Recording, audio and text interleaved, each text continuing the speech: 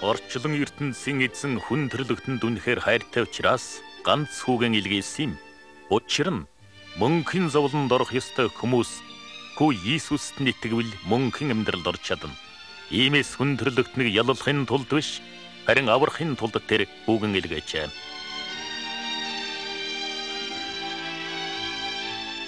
Одоо энэ дэлхийд 1 миллиард гаруй хүн Иесус Христэд итгэж байна. Түүний сургаал маш энгийн байдлаар хэрхэн эхэлснийг Библийн доторх дөрвөн өгүүлэлд харуулсан байдаг. Тэрхүү дөрвөн өгүүлэл нь үндсэндээ өөр өөр үйл явдлын тухай өгүүлэх бөгөөд киног луухийн бичсэн өгүүлэлээр бэлтгэлээ.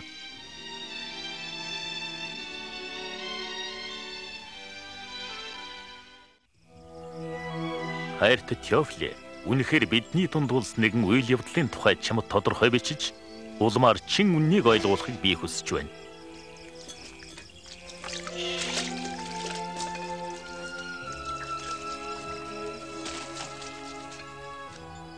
Ромын эзэн хаан Августын хаанчлалын үед Израилийн Иудэ аймгийг их Хрот хаан захирч байлаа.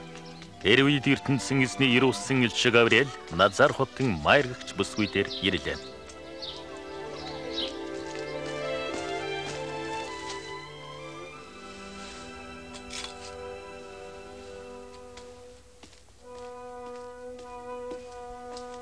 Мария, битгий. Ертөнцийн эзэн таныг онцгойлон сонгожээ. Та удахгүй жирэмсэн болно. Гарах хүүдэн Иесус гэдэг нэр өг. Эр хүнтэй ордч үзээгүй би. Яаж жирэмсэн болох вэ? Хүү чинь ертөнцийн эзний хүү юм. Тэр хүү мөнхийн хаан тулсыг захирна. Майр Юдэ аймаг руу үеэлэгч Элизабетийн дан очлоо. Элизабет бас ертөнцийн эзний ивэлэр хүүхэд төрүүлж болжээ. Мэй. ертөнцийн эзэн чамайг харвагийн эмэгтэйчүүдээс онцгой л үзэж байна. Бас хөөч нь олноос онцгой хүн болно. Чиний дууг сонсоод хөвлөй төрөн баярлаа хөдөлж биш. Их эзнээ чин сэтгэлээсээ магтай. Аврагч их эзнээ бодоход сүнс минь хүртэл жаргалтай байна. Үеийн үед би их эзний ивэлийг хүртсэн эмэгтэй болно.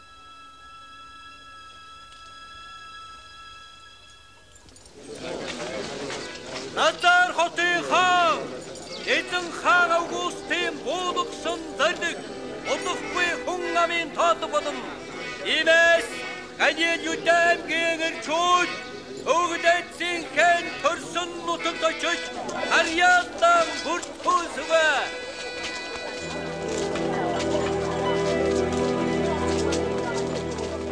харьяатан бүртгүүлсвэ. Инхүү майр Суитевсэн Йосипийн хамт Юудэнгийн Бэтлехэм хотод бүрдүүлэхээр очлоо.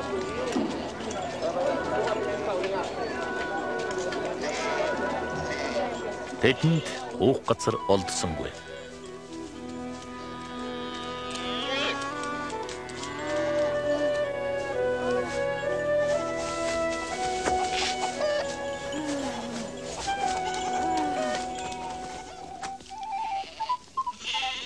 Эршин хонио манаж ви тэр хавийн хончид дээр гэнт ертөнцийн эзний Ерүсын элч сүрж хулантай гэрэл зацруулан ирлээ. Сонсогтон энэ шүн Давид хааны төрлөх хотод манай аврагч эзэн мэндэллээ.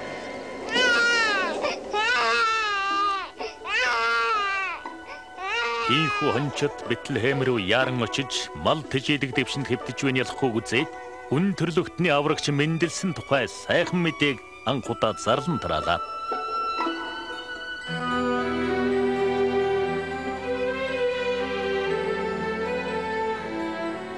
Долоо хоногийн дараа хөвчөндөх ёслолын өдөр Мари хүүдэн Иесус гэдэг нэр өгчээ. Мари Йосип хоёр хүүгэн ертөнцийн эзэн дөрөггөөр Иерусалим хотод очлоо. Насан турш үгийн хүндэтгэн дагсан сайхан сэтгэлд шим өнгөгч өвгөнд өөд болохоос өмнө чи миний илгээсэн аврагчийг үзэх болно хэмээн ертөнцийн эзэн хэлсэн байлаа. Их эзэн минь та нөх аврагч хаан үзвэл одоо би санаа амар нүдэд юм.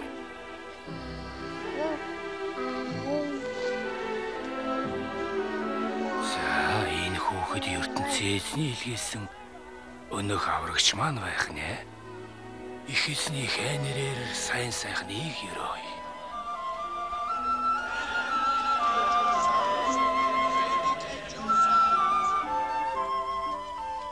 Ингээд Майр Йосип хоёр Назар хотод буцлаа.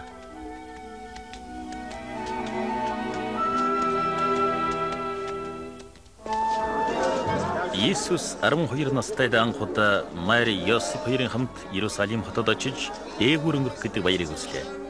Баярын дараа Иесус хотод үлдсэнийг Майр Йосип нар мэдсэнгүй.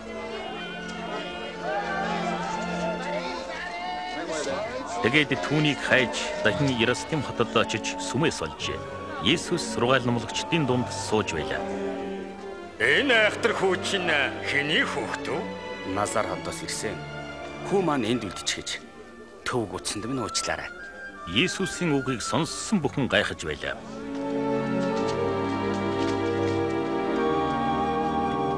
Хүү минь дээ юунд биднийгээ зовоовд.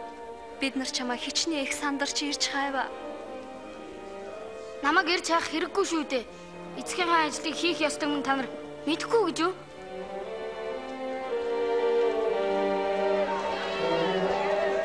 Ингээд тэр Назар хотод дом буцлаа. Иесус ухаан сух тусмаа ертөнцийн эзний болон олон түмний хайрыг татаж байлаа.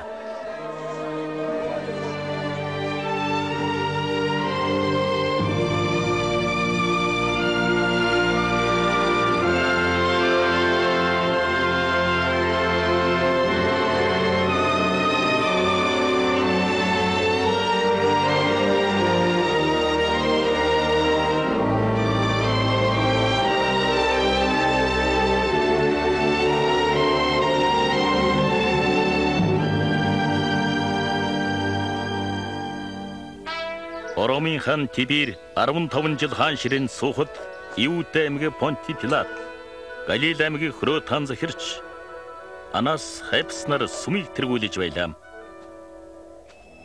Тэр үеэс эхлэн жогон ертөнцийн эзний зарлага боллоо.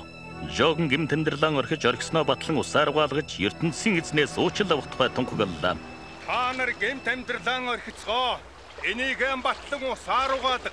Тэгвэл ертөнцийн эзнээс уучлал тавна. Удахгүй ирэх их эзний хүлээж авахд бэлтгэцгээ гэж хэн нэгэн хүн тунхаглана гэсэн энэ тухай яашаахын номонд бичсэн байдгийн тэр хүн чинь би байна. Их эзний ирэх замыг бэлтгэн засцгаа. Хотгор бүрийг шороогоор дүүргэж толгод бүрийг тэгшидэн засцгаа. Та бүхэн Хазгай газрыг засах мэт санаа сэтгэлэн шулуутгацгаа. Тэгвэл хүн бүр ертөнцийн эзний авралыг үзэх болно. Тэгвэл бид юу хийх юм бэ? Тэгээд юу хийх юм бэ? Яста хортомогон удам юм да. Та биднэр юу хийх гэсэн бэ? Ямар самар явах юм маань хэлээд өгөлтөө. Хоёр дээлтэй бол хувцсгүй нэгэнтэн дээлэн илүүчил. Бод ихтэн Оосон нэгнээсэн бүү хармалцгаа. Багша. Албан татвар хураагч бид нар яах вэ? Тогтоосноос илүү татвар бүү тат. Бидэнд юу хэлмээр байна? Бид яах болж вэ? Үний ямыг хүчээр битгий авцгаа. Өрөөл бусдыг бүтгэж болохгүй. Авдаг хөснөөс илүү мөнгөнд битгий шун.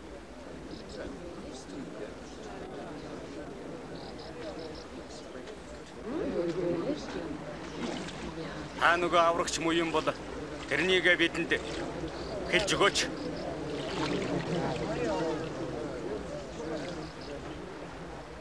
Миний дараа нэг чухал хүн ирнэ.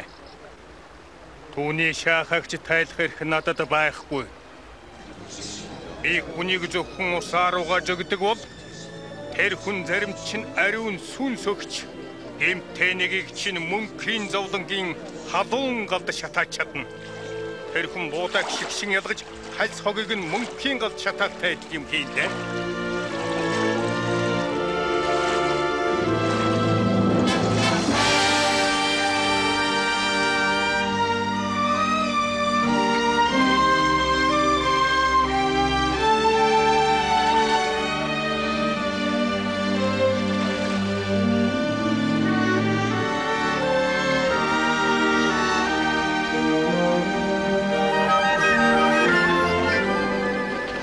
Ертөнцийн эзний ариун сүнс биелэн Иесус рүү тагтааш уумт доош бун ирэхэд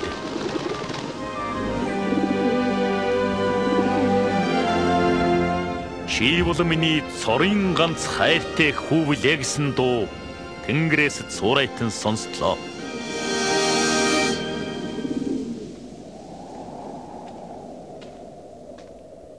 Гочин нас хүрээд Иесус сургаалan зааж эхэллээ. Тэнхүү ертөнцийн эзэн ариун сүнсийг аваад Йордан голоос явж 40 хоног цөлд суулаа. Гэтэл адгийн мууярын сүнс ирж түүнийг уруу татах гэж үзлээ. Иесус 40 хоног хоолойг байжээ.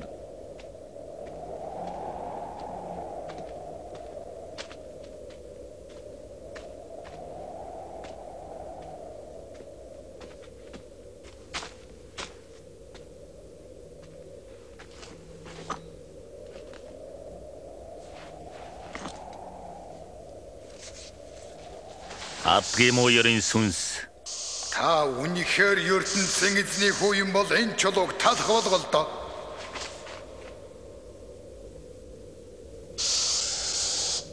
Хүн хоолоор биш. ертөнцийн эзний хүчээр амьд явдаг гэж сургаалт нь байдаг юм.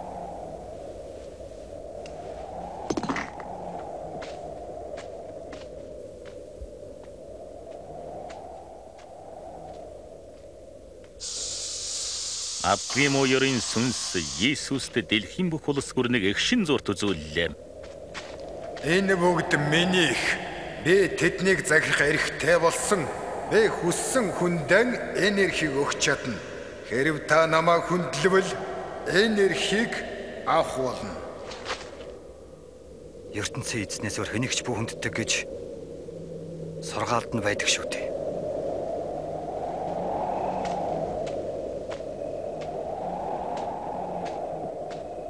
Адгийн мууярын сүнс сүмийн хамгийн өндөр хэрэмдэр Иесусыг аваачлаа.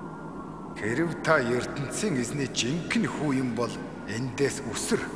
Тэр хүнийг харж хамгаалахыг ертөнцийн эзэн Ерөөлсөн элч нартаа тушаасан учраас бэртэхгүй гэж сургаалт нь бичсэн байдаг шүү дээ. ертөнцийн эзнийг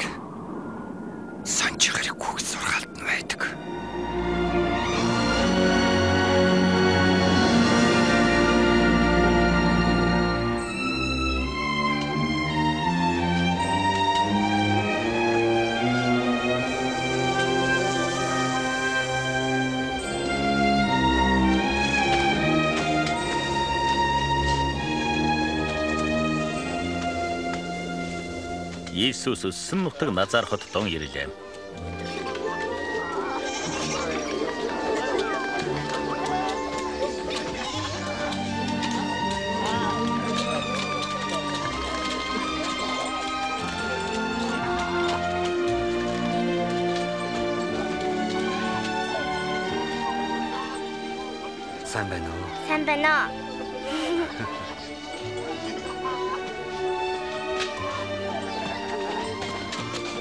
Хагас өдөр Иесус саншил ёсоор хурлын танхимд очлоо.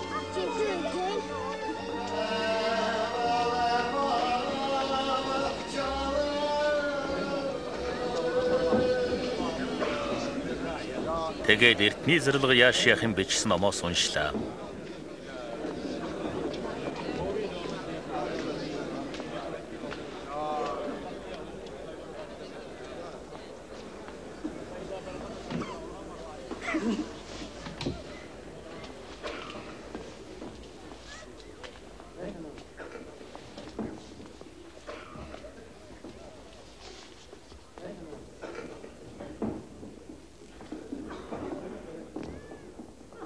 Жири хүмүүст гайхамшигт үнэн хэлэх гэж би ертөнцийн эзний ариун сүнсийг авсан юм. Хоригдлуудад эрх чөлөөний тухай ойлгуулж, сохруудад хараа оруулж, их эзэн хүн төрлөختнийг дарлаас чөлөөлж аврах цаг ирснийг би тунхаглахаар ирсэн юм. Сайхан ярьж байна шүү.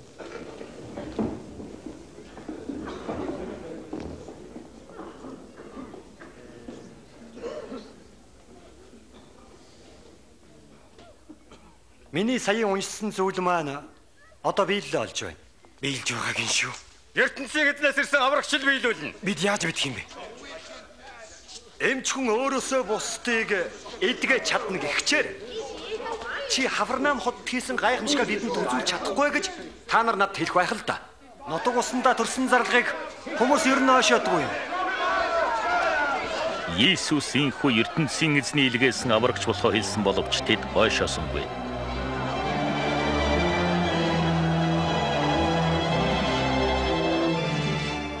Тэрч байтугай түүнийг хотоос гарган хаднаас түлхэн унахыг боджээ.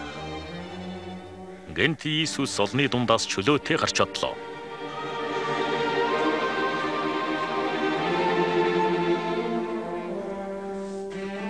Тэгээд Галил аймгийн Хафарнаам хотод ирлээ.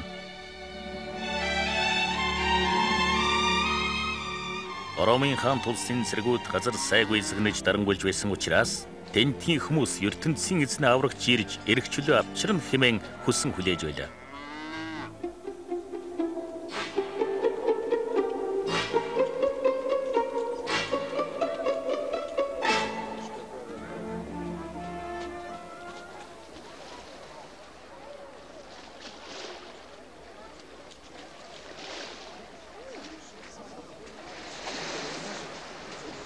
Амар байна уу? Сайн байна уу гэж. Завьяндаа суулгаач. Тэр болно. Энэ маань арай явчихгүй сте. Иесус минь битгий яваач те. Юм яриач те. Иесус үг хэлээр.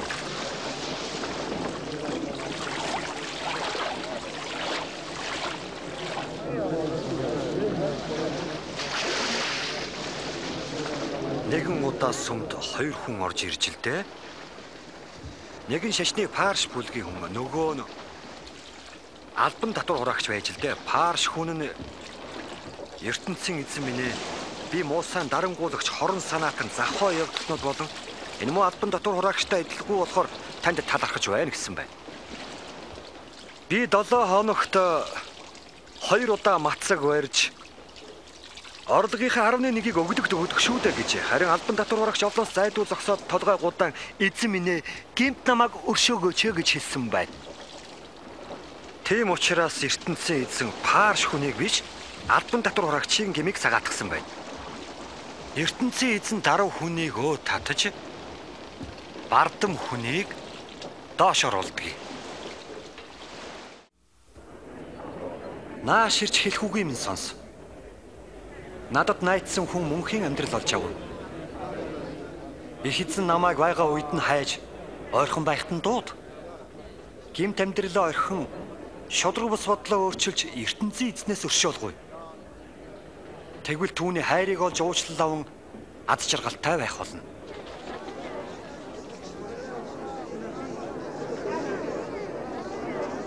Үе гараад ирлээ. Гараад ирсэн шүү. Иесус, Иесус, өвчтөе огныг минь аварч хайрлаа штэ. Эзэн минь өршөө. Тэр минь дөнгөж 12 тоо юм шүү дээ. Та манайд очоо штэ. Яар, уучлаарай. Иесус, Охин чинь өнгөрчихлөө. Багш төвгөдөд яах вэ? Бүү. Надад найдвал охин чинь сэхэн.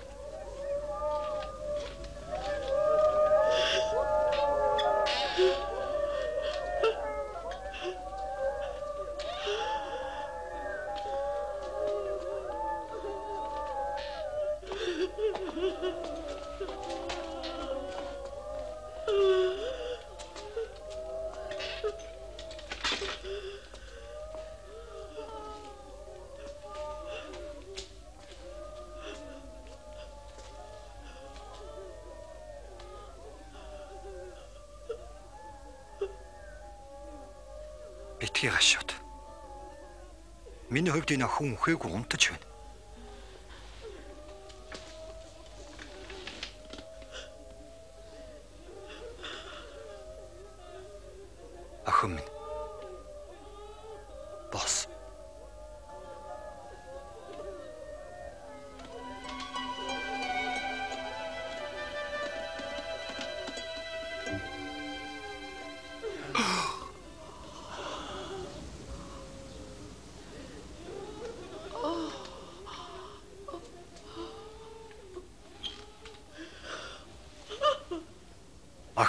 Идэх юм уу? Харин юу болсныг хүнд ирсэн хэрэггүй.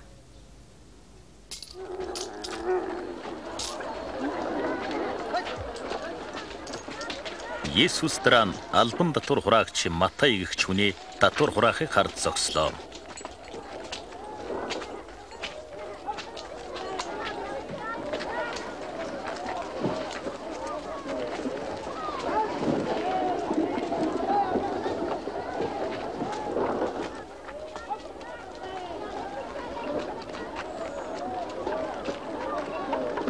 Намайг дагаад яв.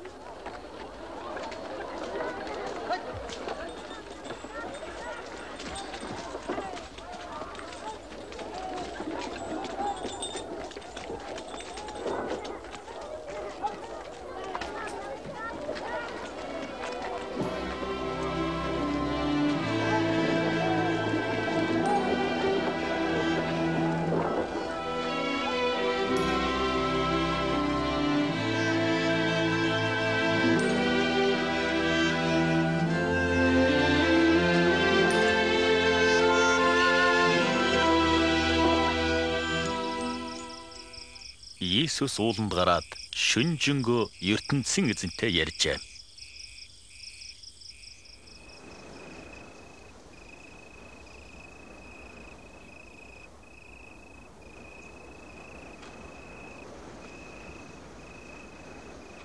Тэгээд өглөө нь 12 дагалдагчаан сунгаж төлөөлөгч хэмээн нэрлэлээ.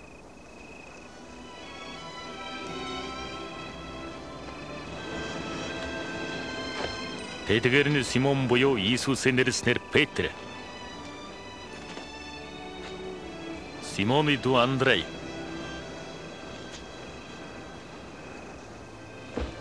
Яхов.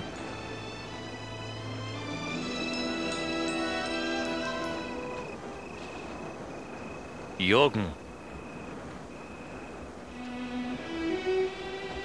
Филипп. Бартоломай.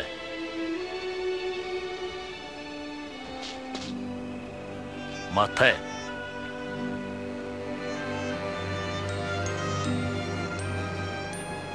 Томас.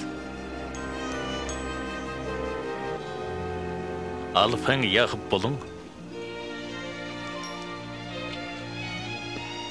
Зелот номын гишүүн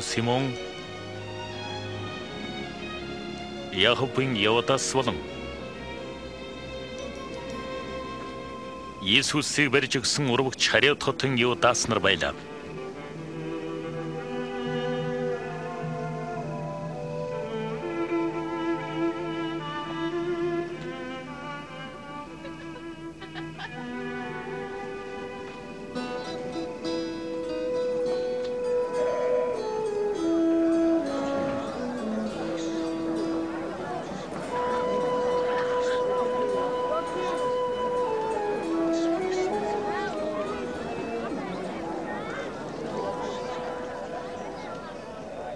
Сүнснийхээ дороог мэдсэн хүн ертөнцийн эзний усад орж жаргалтай бол. Ариун сэтгэлийг хүссэн сэтгэл хангалуун болж жаргал. Өнөөдөр уруу царай танд хожим аз жаргалтай бол.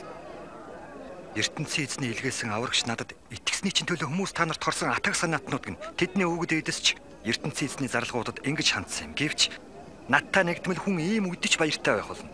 Ийм зовлон давсныхаа төлөө та нар шагнал аавна.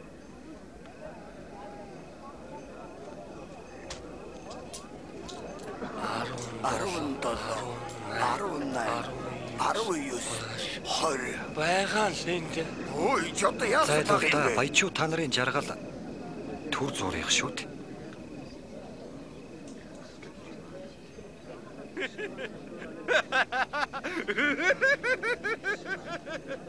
Энэ хүн баяжих дургүйг нь сожоотой байх шүү.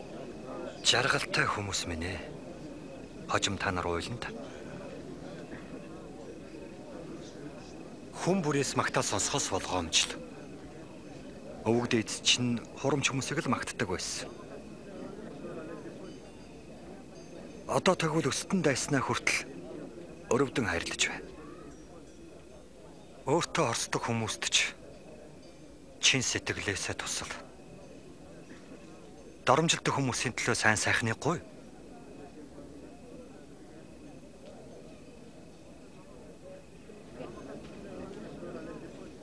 Хэрв нэг хацрыг чинь алгадаг бол нөгөө хацраа тавьж өг.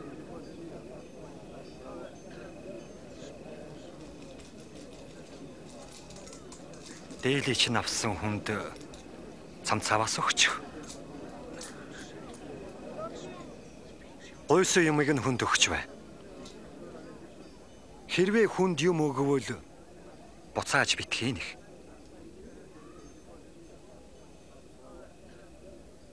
Өрөөлөө сайн сайхныг хүсдэг бол өөрөө сайн үйл бүтээ.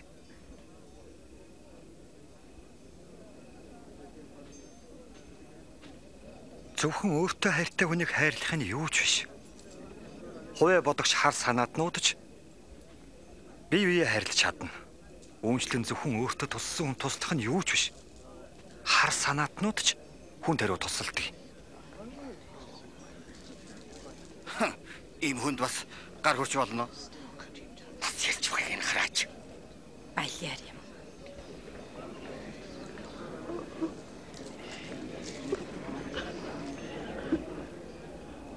Үгүй.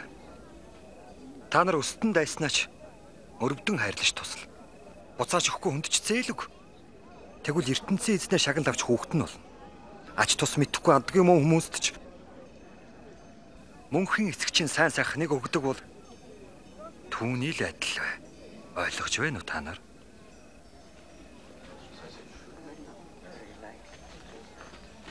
Иесус биднийг авраарай.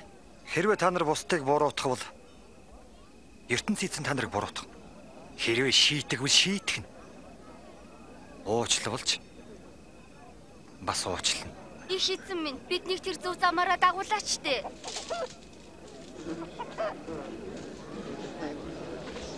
Бусдад өгөөмөр хандвал та нарт ч өгөөмөр хандаж бусдыг яаж хэмснэр чинь хэмжинэ.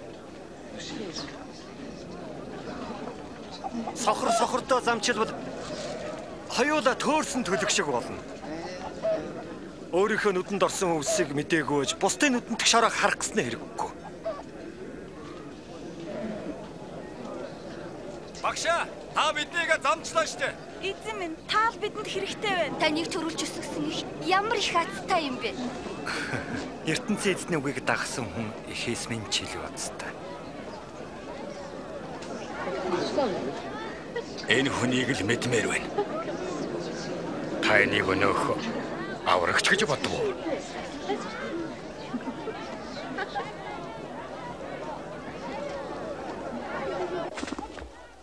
Өнөөх Парш булгийн гишүүн Есүсийг гэртэн аваачин зочлоо. За хүүхдүүд минь явцгаа. Явцгаа, явцгаа. Дуулуу. Явган. Эднэрийн замбраагүй гэдэг нь.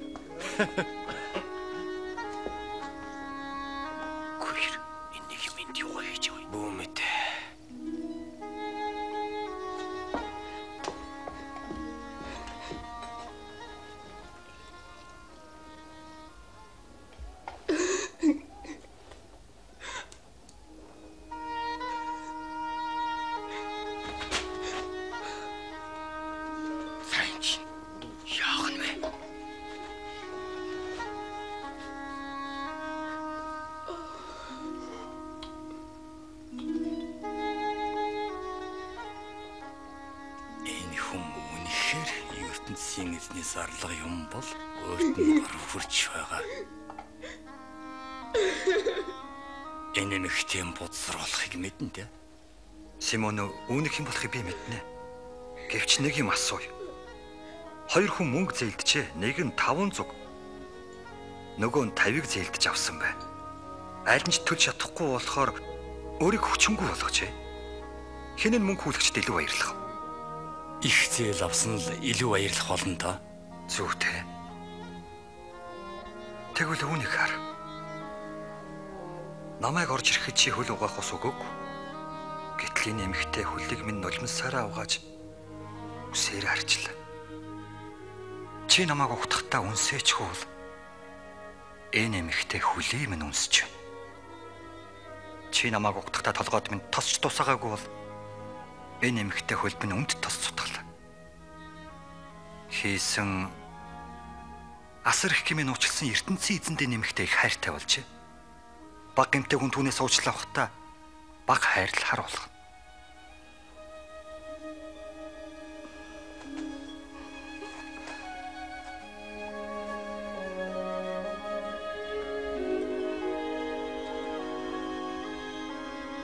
Гэмийг чинь уучлаа. Итгэл чинь аварла. Амар тайван боц та. Би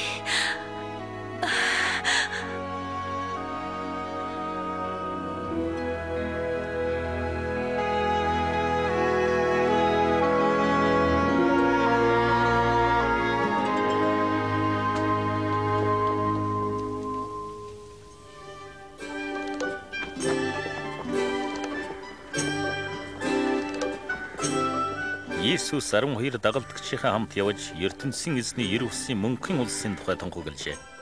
Иесусийн хүчээр муу ерийн сүнснээс салсан Магдал хотын Мари гэдэг авгай Херод хааны хөл сахиулагч хүүлсэн авгай Йон нь болон Сусан зэрэг олон эмэгтэй Иесусыг цаг ямагт дагаж явдаг боллоо.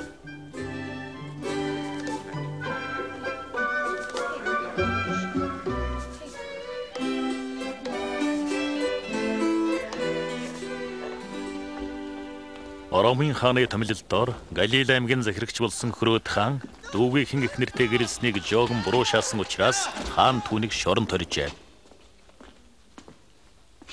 За яа. Бид 8 хотод ирэхдээ нэг оршуулгах ёсолтой дайралдаг юм байна. Хөөх юм нь бэлэвсэн авгаан ганц хүүгэн оршуулга юм гинэ. Иесус тэр агваг ихэд өрөвдсөн шинжтэй зогцонд гар хурч залуу минь бос бос гэж хэлэхэд нас барсан залуу босоод ирсэн шүү.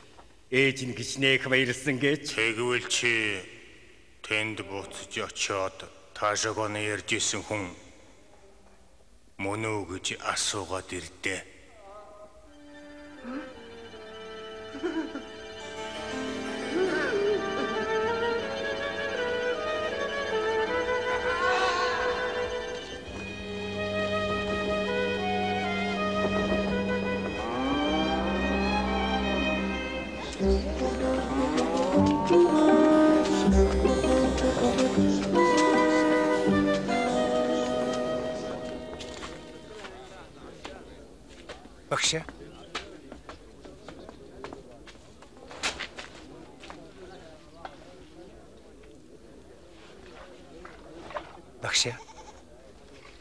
Биднийг Йоган баптист явууллаа. Та нөгөө ирэх хэвээр хүн мөн үү? Аль эсвэл өөр хүн ирэх юм уу? За үдсэн сонссноо түүнд ир. Одоо тэр сохрыг хараат доголны хөлтэй болгож байна. Надад итгэсэн бүхэн жаргалтай болно гэж хэл.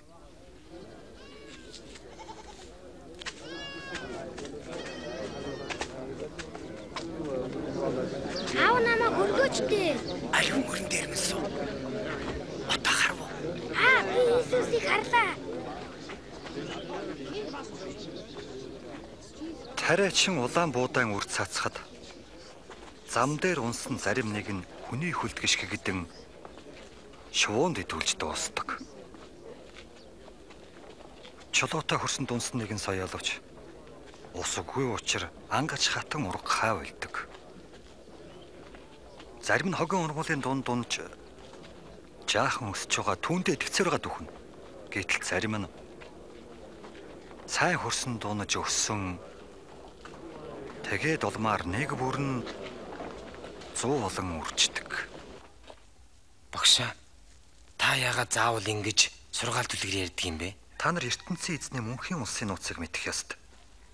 Гэтэл тийш орох ёсгүй хүмүүс гайхамшигыг сонсоод ч ойлгохгүй. Тэр байтугай үзээд ч ухаарахгүй.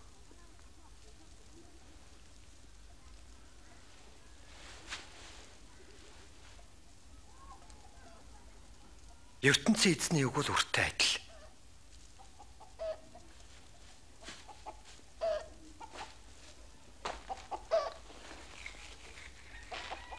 Энэ үгийг сонсоод үйл итгэдэг хүн зам дээр унсан үр мэд. ертөнцийн эзний авралт муу ёрон сүнс дургу учраа сургаалыг хүмүүсийн санаанаас зайлуулдаг. Чулуутай хөрсөн дунсан үр мэт нэг нь сургаалыг анх сонсоод баярлавч оролдлогогүй учраа төр зуур этгээд бэрхшээл тулгархад ухардаг үлээ. Хогийн ургамал дунд унсан үр мэд зарим нэг нь сургаалыг хүлээн зөвшөөрөвч эд баялаг хувийн бодол биеийн таалал давтан үр дүнгөө өнгөрдөг. Харин сайн хөрсөн дунсан үр мэд зарим нэг нь сургаалыг сэтгэл зүрхэндээ оруулж тэсвэртэй даган улам илүү үр дүнд хүрдэг юм.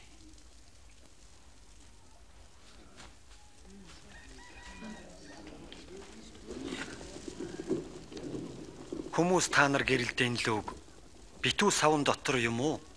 Орон дор тавьдаггүй биз дээ. Харин бусдад харуулахын тулд ил тавьдаг. Хүнд дараа үзүүлэх юмг нуухан зайлшгүй. Үүний адилаар ертөнцийн эзэн олон нууцаа бидэнд хожим тайлж өгнө.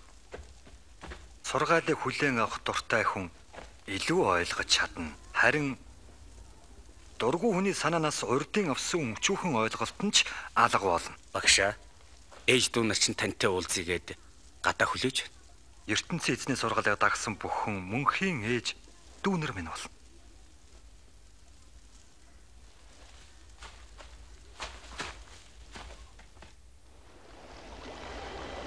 Нэгэн удаа Иесус дагалдагчдын хамт Галил нуурыг завэр гаталжээ.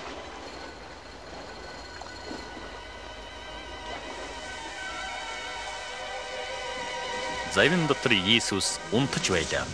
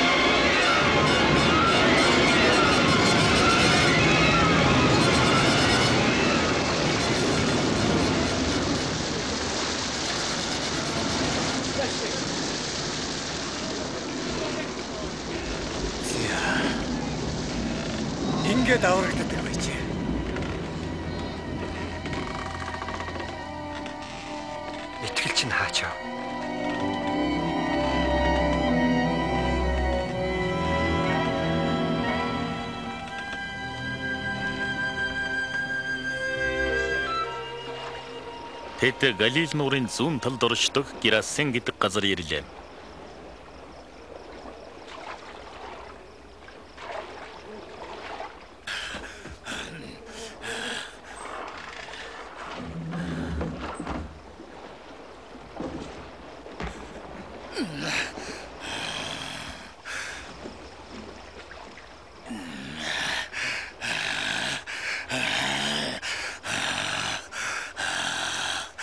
Иесус ертөнцийн агуу хэзний хүмүнэ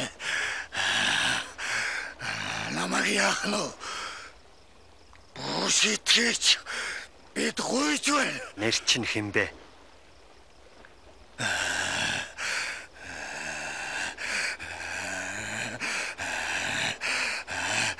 Түмэн гэдэг эцэн минь бид гуйж байна мөнхийн зовлонд бооруулаач бид гуйж байна тэр сүрэг хариу оруулаач бид гуйж байна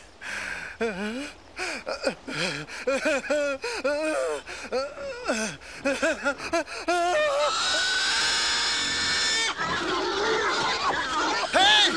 Утаа! Хогс! Хогс! Тэр олон муу ёрын сүнс хүнийг орхин гахайд шингэлээ. Бутаад!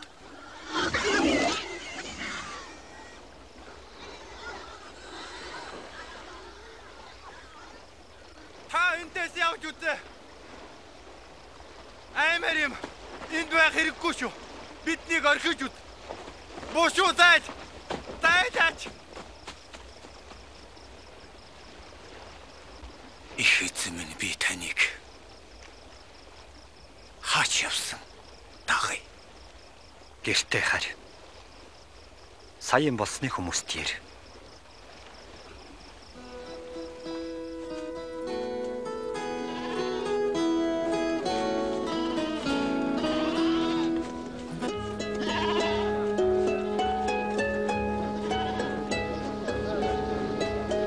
Иесус 12 төлөөлөгчийнхөө хамт Бет Сайд хот руу нууцаар очисон боловч хүмүүс аль хэдийн мэдчихээд цугларсан байлаа.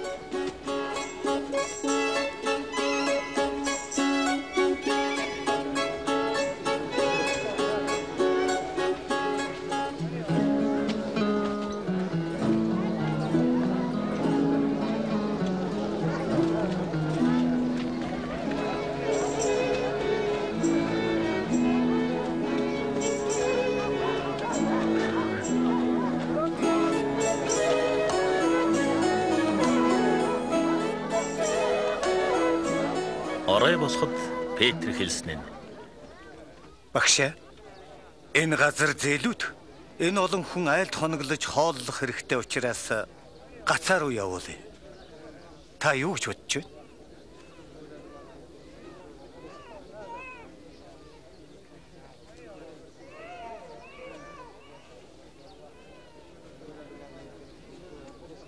Та нар тэдэнд идэх юм уу хэл тоо. Бидэнд таван талах хоёрхан загснаас өөр юм алга та.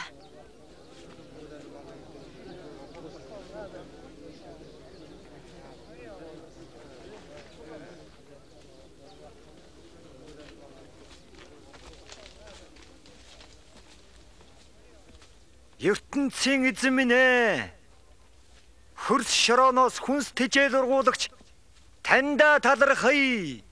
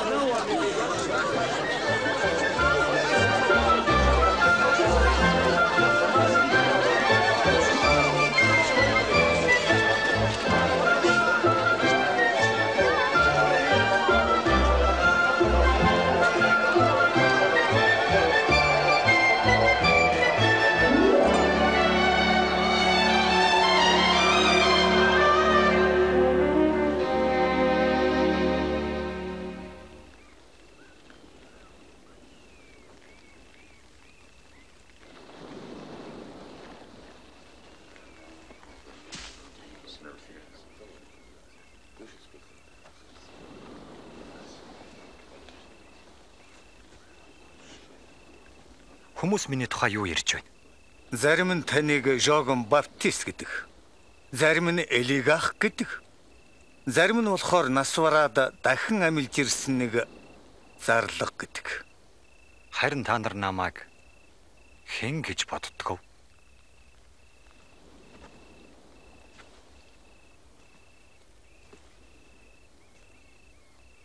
Та бидний аврагч эзэн. Одоохондоо хүнд ч үнийг бүү хэл. ертөнцийн эзний хүү би их зовлон тулж алвал. Гэвч 3 хоногийн дотор ертөнцийн эзний хүчээр дахин амьлах болно.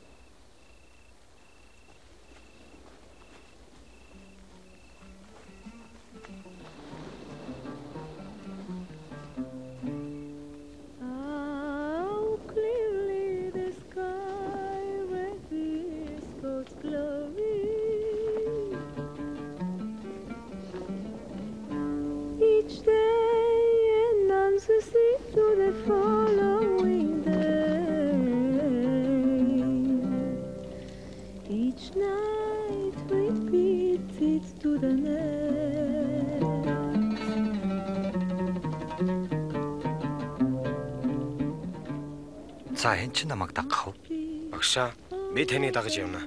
Эхлээд гэр бүлийнхэнтэйгээ салахс гүйцэтгэе. Намайг дагахдаа замаасаа нятсан хүн ертөнцийн эзний төлөө зүтгэж чадахгүй. Намайг үнэхээр дагая гэвэл ам бие үл хайрлан өдөр бүр миний хойноос явж бай. тийм бэрхшээл туулахаас татгалцсан хүн байвал үр төхөрнө. Харин миний төлөө амиа өгсөн хүн мөнхийн зовлонгоос аврагдана. Даян дэлхийг ноёр хоод ам хохирвол ямар ашиг вэ? Хүн намайг үлөөшөө хэлсүү хүнд бин дургуутсвал хожим би эцгийнхээ яруу алдрыг илтгэн энэ дэлхийд дахин эрэхтэй тэр хүн дургуцлээ илэрхийлнэ.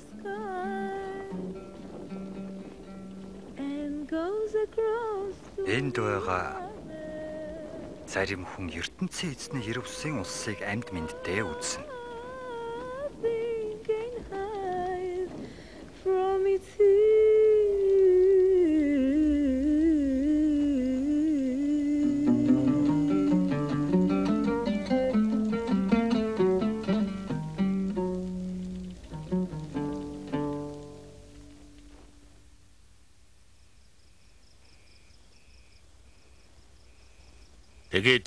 Петр, Йоган, Яаков гурван хамт Иесус ууланд гарч ертөнцийн эзэнтэй ярьжээ.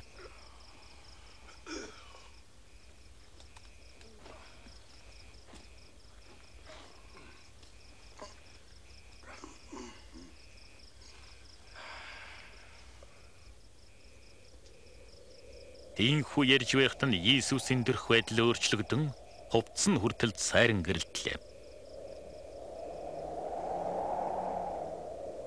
Өнөртөд цагт амьдарч агсан ертөнцийн эзний зарилга Мөшех, Илиг ахнар түүнтэй ярилцж байлаа. Та удахгүй ажиллаангүй цэх болно.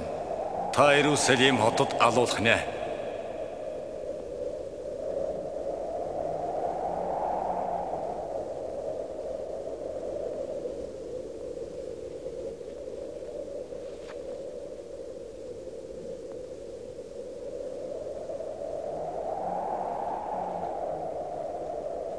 Тэр хоёрыг нь талгуулж Петр Иесуст үг хэллээ. Багш. Энд байгаагийн маань хэрэг юу вэ? Мөшөх Элигах та гуравт орох оромж барьж өгье. Та жившөр. Гинт бон үүл манан дунд дагалдагчд ороод айн сандарлаа. Энэ бол миний илгээсэн хүү. Та нар түүний үгийг онцгой анхааран сонсох түн гих дун үүлнээс гархан сонсогдлоо.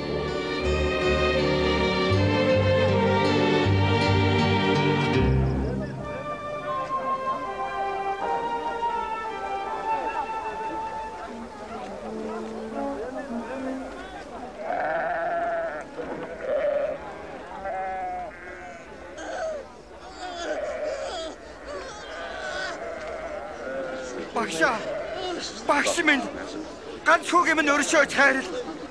Хүүд минь туслаач гэж би танаас гуй. Хүүд минь шөглсөн муу ёрын сүнсийг зайлуулж өгөөч гэж би таныг дагаж явдаг усудаас гуйсан боловч тэд чаддаггүй. Яас итгэл муутай улссан вэ? Би хэр зэрэг удаа үүний чинь төвчих юм бэ? За хүүг авдар.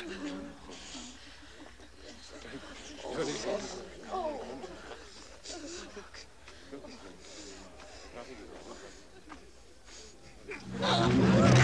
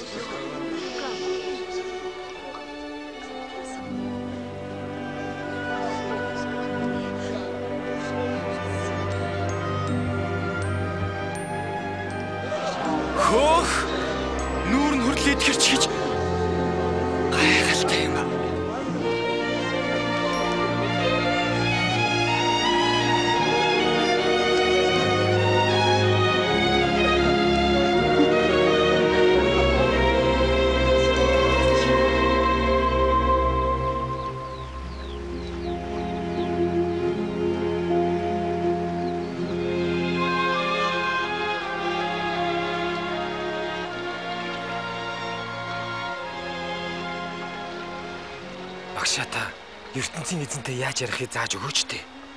ертөнцийн эзэнтэй ярихдаа аава та хүн төрлөختнөр өөрийгөө хөндлөөл. Мөнхийн улсаа бидний дунд аягуулаач. Өдөр бүр бидэнд итгэх хоол өгөөч.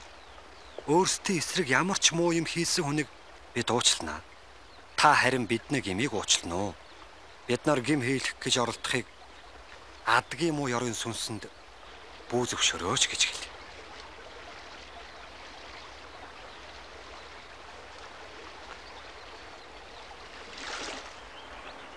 Ертөнцийн эзэн хүний гуйсан ямиг заавал өгдөг. Юм мэдхийг хүссэн хүнд лавтаа ойлгуулж өгнө. Хэрэгтэй газрынхаа үүдэг тогссон хүнийг хөтлөн оруулж өгнө. Тиймээс та нар гуйс юм авч чадна. Хэрэгтэй юм ойлгож чадна. Хүссэн газар тааж орж чадна.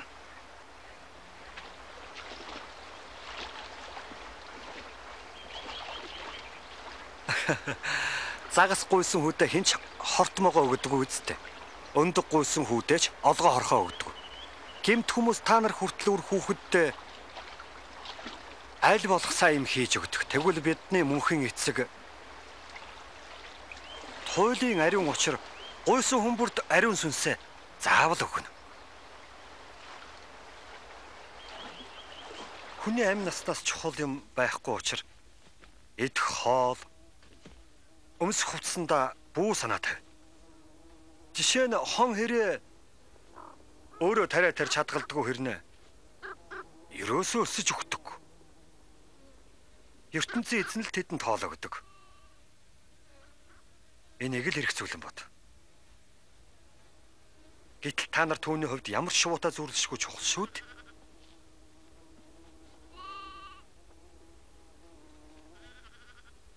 Дэми санаа зовоод амьдрал ягаад шурцсахгүй.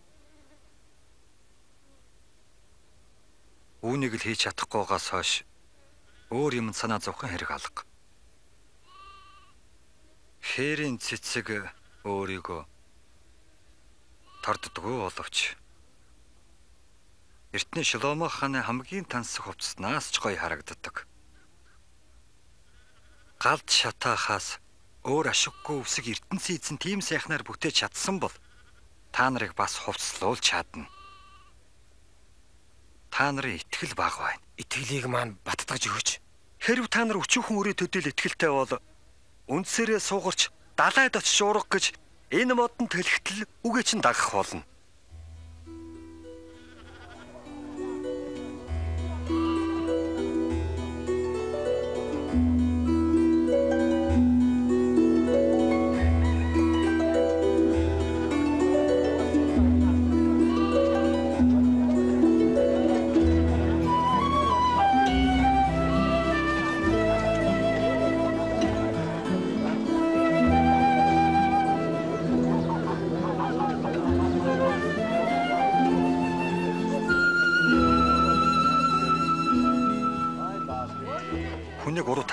Зайлшгүй гардаг. Гэвч өрөөл бусдыг уруу татан гим хийлгдэг хүн л хөөрхий. Тийм хүн надад дөнгөсөө итгэсэн хүнээр гим хийлгэснээс хүзүүндээ термин чулуу зүйлгээ далаа таягдсан дээр. ертөнцийн эзний мөнхийн улсыг өчүүхэн үртэй зөөрлөж болно. Өчүүхэн тэр үрээ сургасан өндөр модны мөчөрт олон шувуу үрээ застдаг шүү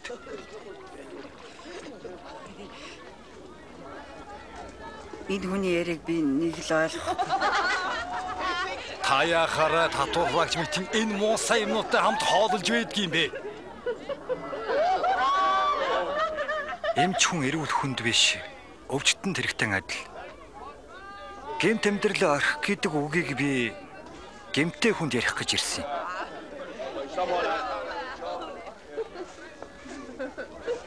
Юр бусын улсынхан тухай танад өөр юм ярьж өгөөч тээ. Миний цөөхөн хүмүүсээ мөнхийн эцэг чинь та нараар улсаа байгуулахар шийдсэн. Тийм учраас юунаас ч бүү эд хөрөнгө худалдаа ядуust мөнгө өг. Ингиж ертөнцийн эзний эр бусын улсаас баялаг авахад бэлтэг. Тэнтхийн баялаг үүрдэг. Тэнд хүний имийг хулгаач авахгүй. Хүр орхоо хөрөнгөдөхгүй. Баялаг нь байгаа газар хүний сэтгэл оршдог.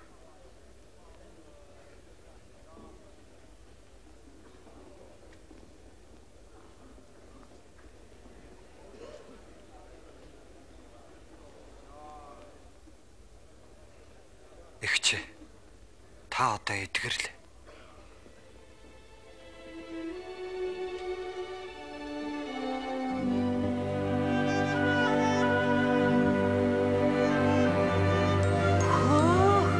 Би чи тамина. Энд чи ястай гайхамшиг байна да. Али тамина хараач. ертөнцийн эзэн манд тугай.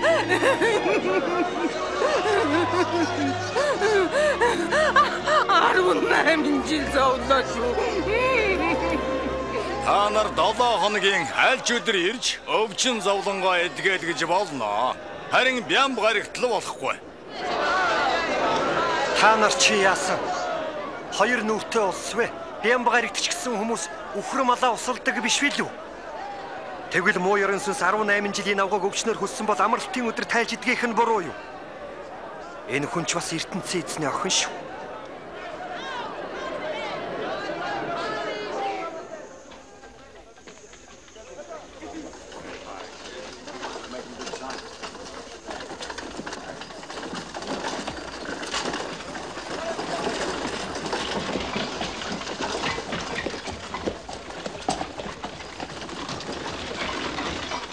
Ариун багшаа би яавал мөнхийн амьдралыг олж болох бол Та намайг ариун гэв.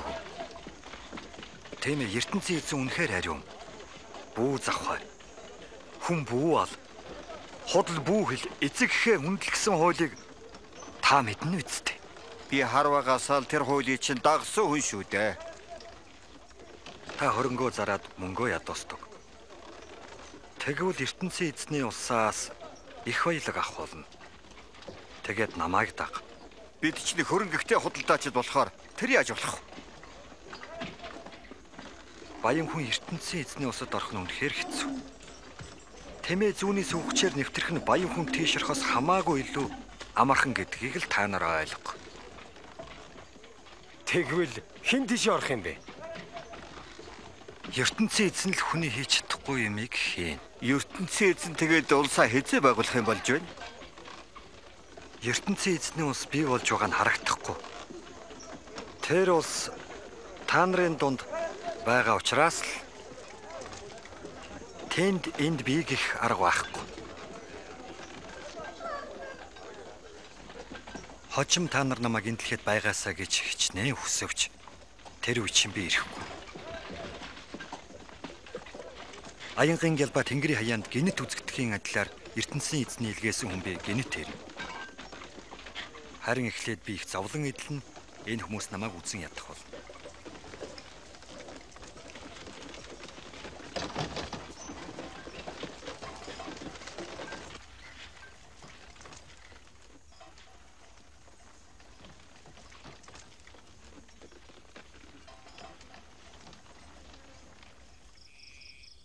ертөнцийн эзний тогтоосон хуулийн нэг зэг хүчингү болохоос Тэнгэр дэлхийн устдах нь илүү амар. Түүний эртний зарлагууд болон олон хаад ноёд одоогийн энэ хүл явдлыг хүсээд хүсээд үзэл сонсож чадаагүй юм. Тэгээд бид яах вэ? ертөнцийн эзний хуулийг чи тайлбарлаж чадах уу? Та зүрх сэтгэл сүн санаа бодлороо ертөнцийн эзнийг хайрлаж бүхэж чадлаа түнд зориул. Бас нөхдөд өөрийн адил хайрлаа. Зүйтэй. Чи ингэвэл мөнхийн амьдралтай болно. Нөхөд гэдэг чинь хин? Боромын зэрэгүүд л биш. Ромын хаан ч гэсэн биш. Нэг хүн Иерусалимаас Ирихо хот руу явж байтал замд нь дээрэмчд довтлон хувцсыг нь аваад ухтлан зодоод явжээ. Тэр үе замаар явж байсан нэгэн сүмэн зэрэгтэн зодоосон хүнийг хараад холуур тойрч өнгөрөв. Мөн сүмд ажилдаг Лев аймгийн хүн гимтсэн хүнийг хараад тойр өнгөрөв. Харин Шомроо аймгийн нэгэн хүн түүнийг үзээд ихэд хайрлан өрөвдөжгөндөө. Тэгээ шархыг бод сувлаад илжгэн дүүрэн дэм буудлын газар авчрав. Маргааш нөгөө хүн явхдаа буудлын эзэнд хоёр лам өнгөгөөд энэ хүнийг сувилж өгөөч. Хэрв илүү мөнгө хэрэгтэй бол би буцахтаа төлнө гэжээ.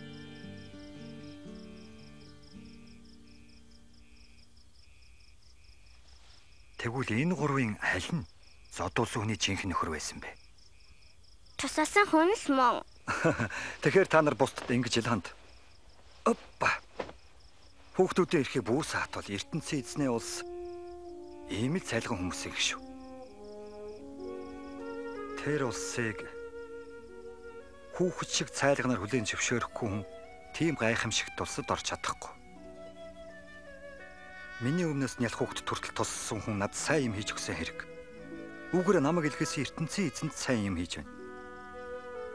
Та нарын дотроос хамгийн дорд нь хожим тэргүүн болно.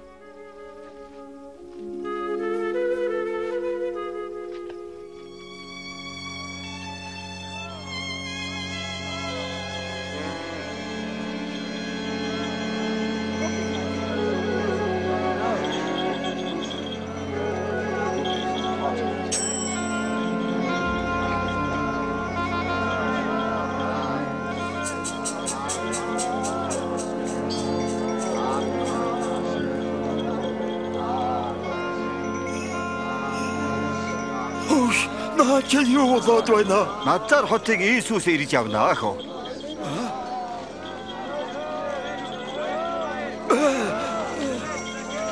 Иесус. Иесус. Иесус. Хааны утсан минь намайг өрөвдөөчтэй.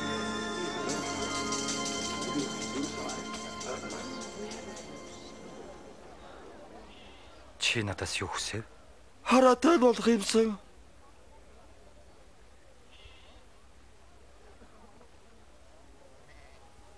За хар. Итгэл чинь чамайг итгэл. Э, Би харж байна. Би харнаа шүү дээ. Би харж байна.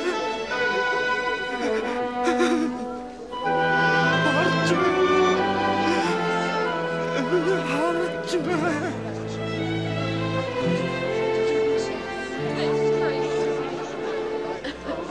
Иесусыг Иерусалим хот руу явах замд нь хүмүүс бөөм бөөнөөр тосон ирж олон юм асуудаг байлаа.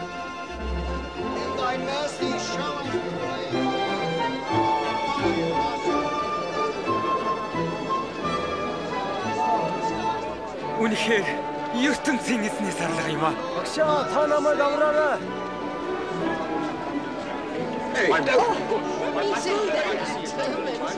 Их эзэн минь та биднийг авраарай.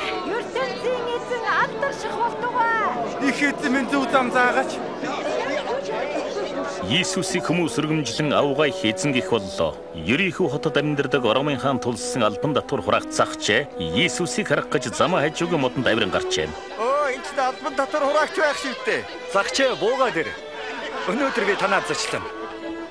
Манай дүү хин эднийд орох юм бэ? Загч Иесусыг яаж таньдгийг?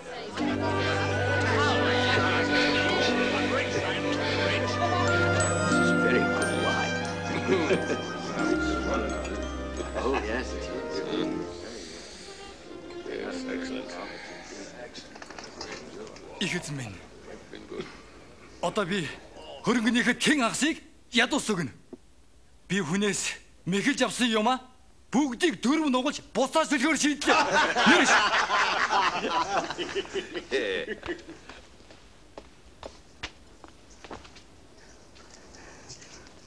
오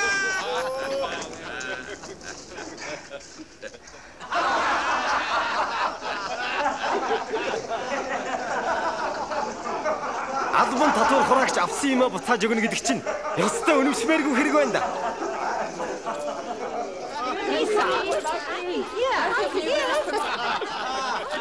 ертөнцийн эзнээс ирсэн би.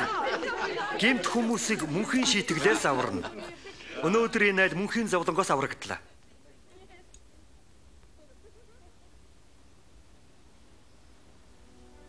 Намайг сонс. Би Дээрүсалимд очино. Олон зуун жилийн өмнөх зөгнөлт үг тэнд биелэх болно. Хүмүүс намайг барьж харийн захирагчд өгнө. Тэгээд нулимж доромжлон ташуурдаа цовдлно. Алагдснаас минь хойш 3 хоногийн дотор ертөнцийн эзэн дахин амьлуул.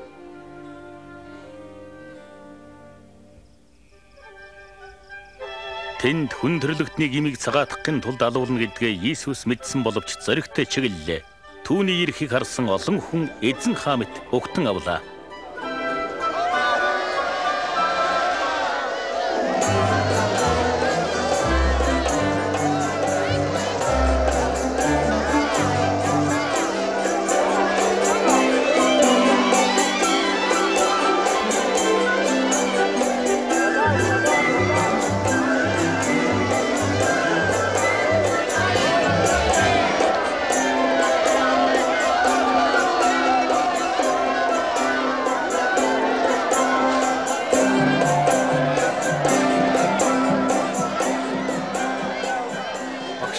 Наад дагалдагчтай чимээгүй болгооч. Хэрвээ би дууга ураавал энэ зам дээрх чулуунууд бас л ашиглах үсттэй.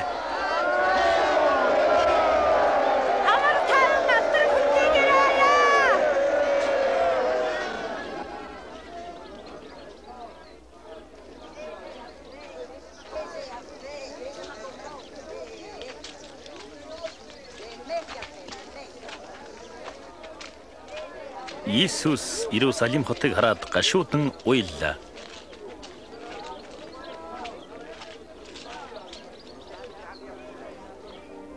Иерусалим хотынхон та нар ертөнцийн эзнээ инх шаргалтай замыг мэдвэл сайнс.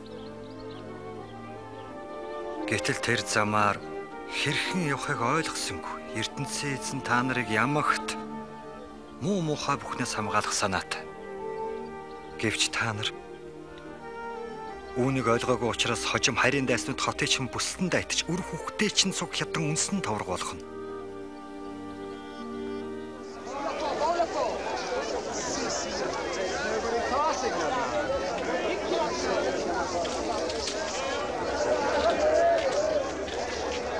Иерусалим хотын ариун сүм нь сүм гэхээс нь зах зээлийн газар гэмээр болжээ.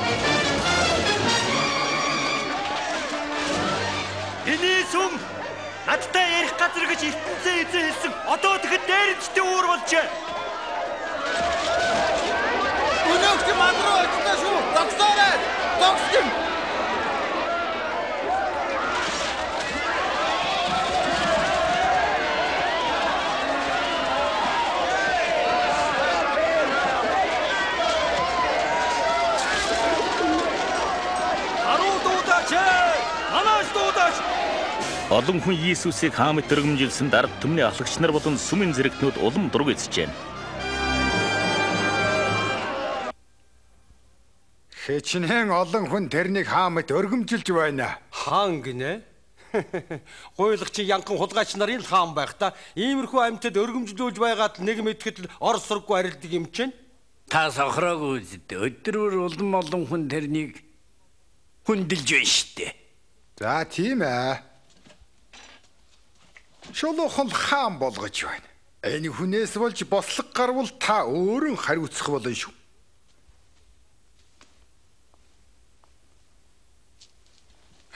Энийний хэлдэг зөв байх. Тэрнтэй чи яриад үзүүл яадаг юм? Иесус сургаал номлогчд улам парш бүлгийн ихний хуурамч байдлыг шүүмжилсэн нь олны талархлыг хүлээлээ. Үүний зэрэгцээ Иесусийн эсрэг хөдөлгөөнч ихслээ. Иерусалим хотын сүмд нэгэн ядуу бэлэвсэн авгаа хоёр жижиг зэс цоосрөхгийг Иесус харлаа. Шалахгүй юм өглөө дөө. Арай илүү өгч болсонгүй юу? Энэ ядуу бэлбсэн авгаад бусдаас илүү өглөө. Хүмүүс илүү гарсан мөнгөө өргөн барьж байхад энэ ядуу авгаа илүүшлэх юу ч хүү байдлаа. Амзуулгын хэдэн мөнгөө өргөн барьж байна. Гэлээд иймэрхүү юм хэлэх эрх мэдлийг чамд хэн өгсөн юм? Эхлээд би нэг зүйл асууя. Жогон Баптист хүнийг усаар угаах эрхийг анх хинээс авсан юм?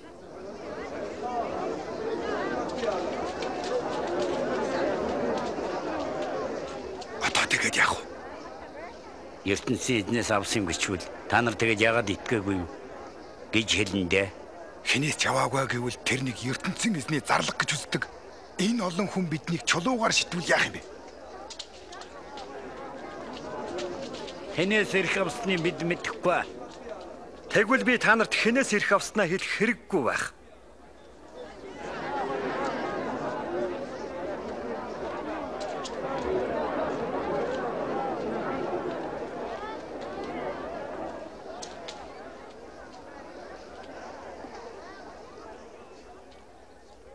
Нэгэн хүн усан үзмийн цэцэрлэг тарьж хідэн дарсчин түрээслээд харин нутагт явжээ. Усан үзм хураах цаг ирэхэд эзэн түрээсээ авах гэж нэг зарцаа илгээ ихэд дарсчид түүний зодоод гар хоосон буцаач. Тэгэхэр нь эзэн өөр зарцаа явуулсан боловч бас л хэрцгий хандан юу ч өгөлгүй буцаач. Дараа нь эзэн 3 дахь зарцаа явуулахад мөн зодож гимтээсэн учраас одоо яах вэ? Хайртай ганц өгөө явуулбал ирэх биш хүндэл нүзээ гэж бодлоо. Харин дарсчид хүүг хараад эзний өв залгамжлагчийг албал цэцэрлэг манах болно гэж хоорондоо хэлцчихэндэ. Цааш нь яриач. Тэгээ тэд хүүг цэцэрлэгээс гарган алжээ. Тэгвэл эзэн өөрөө ирж хорон санаатаа дарсчдыг алаад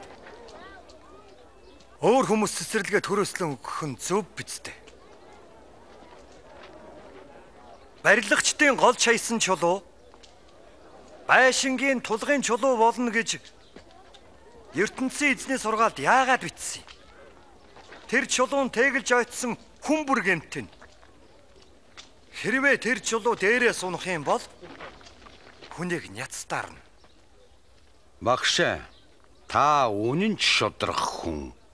Тэгээд ч тал дохой таталгүй зөв юм сургадгийг нь бид бүгдээрээ сайн мэдж байгаа штэ.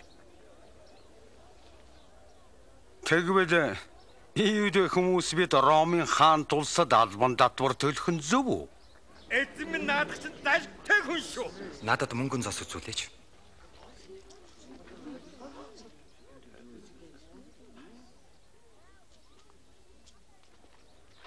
Хэний дүрсэн дээр нэртэйгээ байна?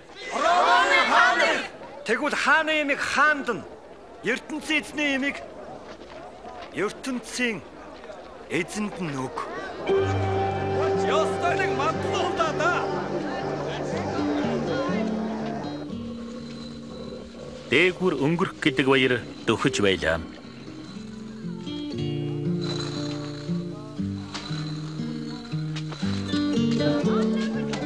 Есүс Петр Йоган нарыг баярын зог бэлтгүүлэхээр илгээлээ.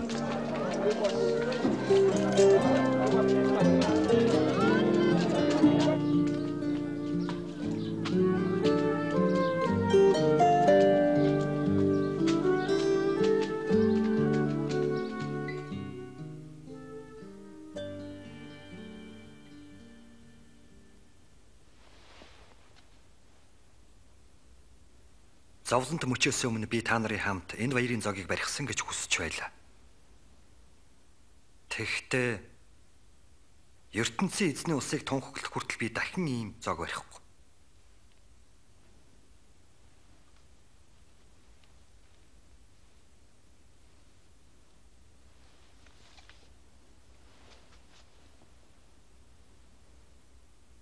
ертөнцийн хэзэн минь ээ. Хөрс шорооноос усан үзм ургуулагч таньдаа би талархаж байна.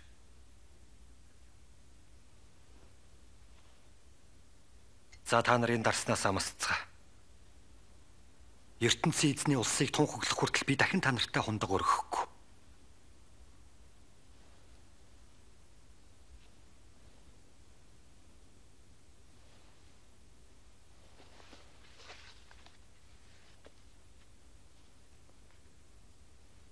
Ертөнцийн их эзэн минь ээ. Хөрс шорооноос буудаа ургуулагч таньдаа би талархъя.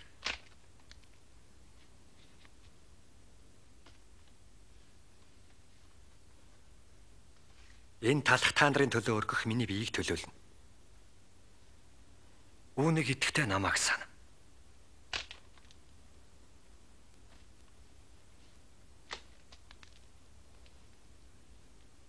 Энэ дарс миний цустай адил.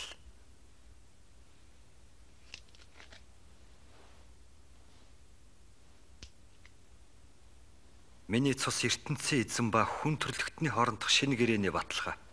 Та нарын нэг нь намайг дайсанд барьж өгнө. Миний үхэл гарцаагүй боловч тэр урагт золгүй. Юу л бол тоо. Арайчтэй. Тийм хүн байх ёсгүй дээ. Их эзэн минь. Тэр урагчийн нэрийг хэлээд өг.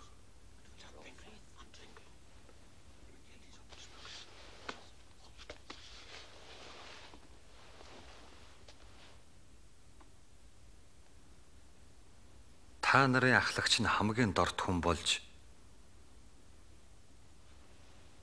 бусдаа үйлчлэх хэрэгтэй. Ширээн залрах ноён зарцаасаа ирхэн боловч би та нарт байнга үйлчлдэг. Бэрх замыг туулахт минь хамт явж байсан та нартаа би ирэх мэдл өгнө. Тэгээд мөнхийн улсын минь хаан ширээнд та нар миний хамт сууж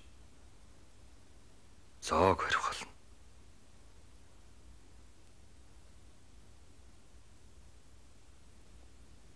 Дараа нь Израилийн 12 овг аймгийг захирна.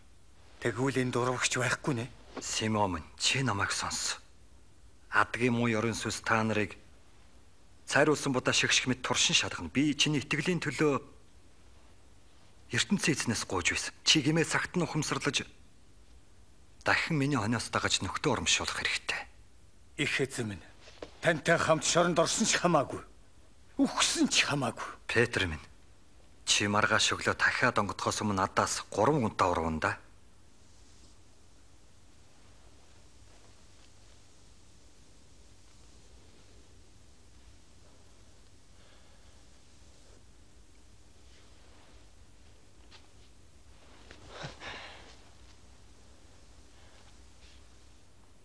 Би та нарыг мөнгө төгрөг ачаа тийшгүй илгээхэд хинчний югаар дутав. Ёстой юугаар сутаагүй те? ертөнцийн эзний сургаал бичсэн үгс биелэх цаг ирж байна. Тэр бол миний тухай хүмүүс түүнийг хэрэгтэн мэт үзнэ гэсэн үг бил. Тэр үед мөнгө төгрөг ачаа тийш авч явах хэрэгтэй болно. Дээлээ худалдаж сэлэм авах цаг ч ирнэ. Энийг хараач. Эзэн минь хоёр мис байна.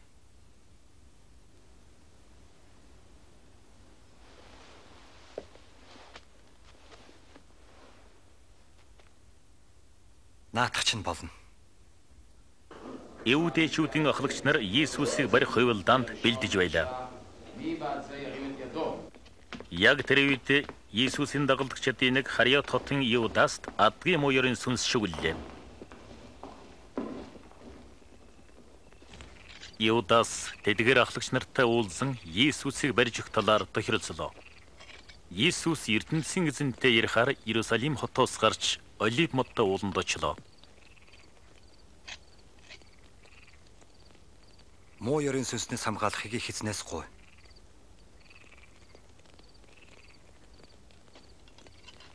Хариот хотын Иудас 30 мөнгөн зоосны хахуул аваад Иесусыг барьж өгөх боллоо. Хүн төрлөختний гимиг цагаатгахын төлөө удахгүй алуулахаа Иесус мэдэж байсан учраас ертөнцийн эзэнд энэ тухай ярьлаа.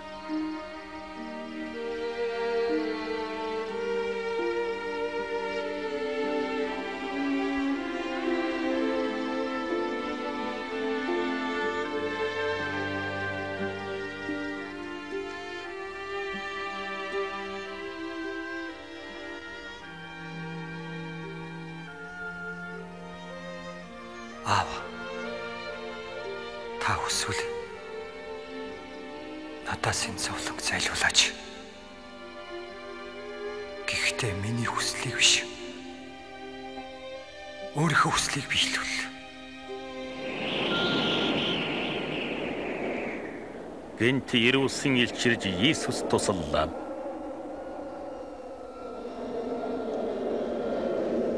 Зовлонт түүний хөлөөс газарт том том цусан тусал мэт харагдан унж байлаа.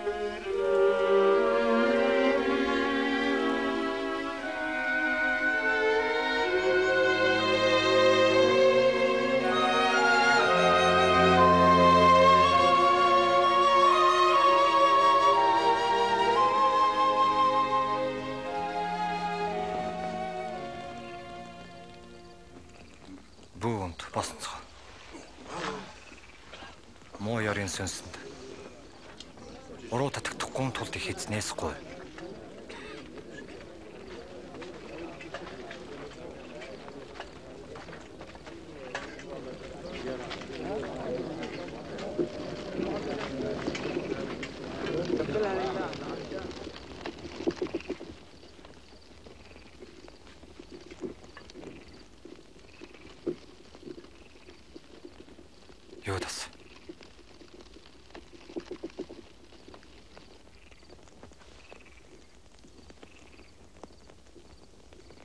Чи намайг дайсанд барьж өгөхийн тулд үнсэж байна. Эзэн минь энийг солимтчихгүй.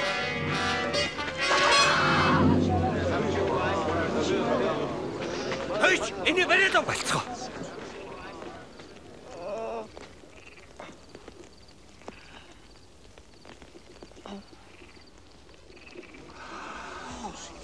Гайхалтайя. Намайг дээрэмчмэт үзэж сэлэм шийдэмтэй ирэх хэрэггүй байсан. Өдөр бүр сүмийн хашаанд байхад минь та нар намайг бариагүй шүү дээ. Харин одоо дуртай юмаа хийх эрхтэй болж байх шивтэй.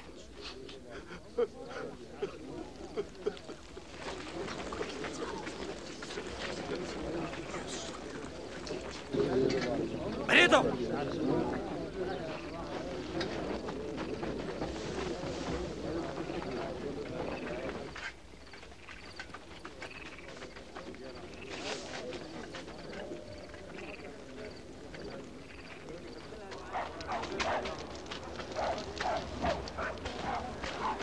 Наатхан сайн манараа.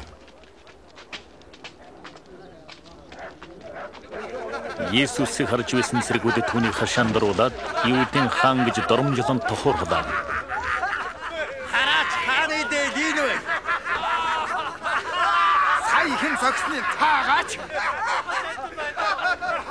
Хаангаа та биднийг аварна бидтэй. Аварна бидтэй. Энэ бас Иесусих штэ. Эгч би тэрнийг танихгүй. Би хамт явж байхыг харсан байхгүй юу?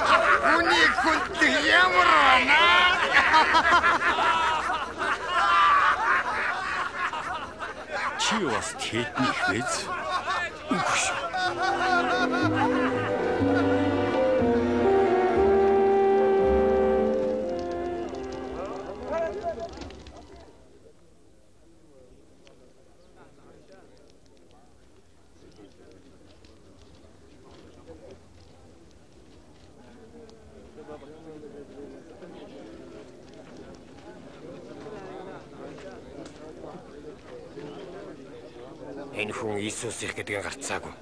Тэгээд ч Галил аймгийнх юм байна. За зайлаа. Та нарын юу ярьж байгааг чинь ойлгохгүй л байна шүү.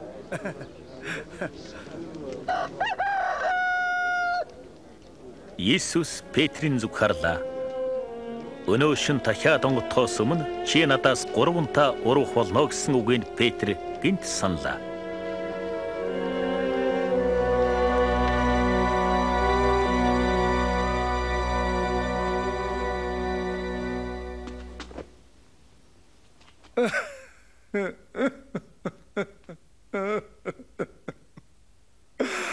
Их эзэн минь та хязгааргүй хүч чадалтай шүү дээ. Тэрний чинь бид харсаа харсан. Өвгдөөс элэнц хуланц маань та тамшгүй их гэм үлдэвч та уурсан хэрнэн уучлан өршөөж байсан шүү дээ. Та тэдэнд хайртай учраас л өршөөдөг байсан. Намагч бас өршөөгөө штэ.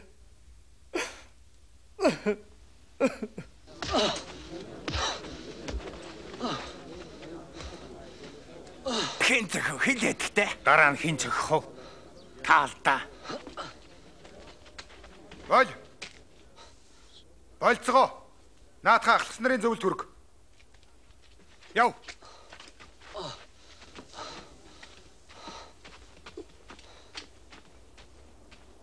Иудейчүүдийн ахлагч нарын зөвлөлд Иесусыг авчран байцаалаа.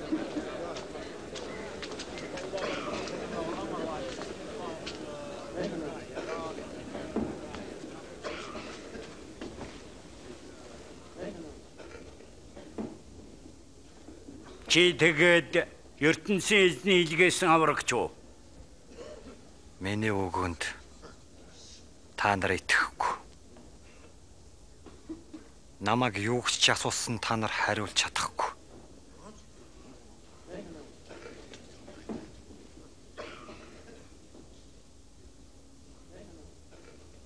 Үүнээс хойш ертөнцийн эзнээс ирсэн би баруун гарынх нь хүндэс суудал заларна.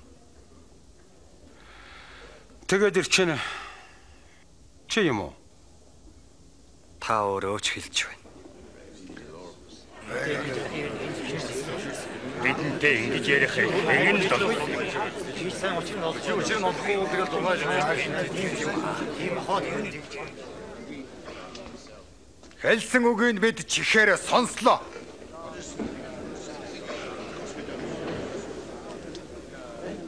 Захирч Пилатад өргөөл. Тэг тэг надхаа аваад зай.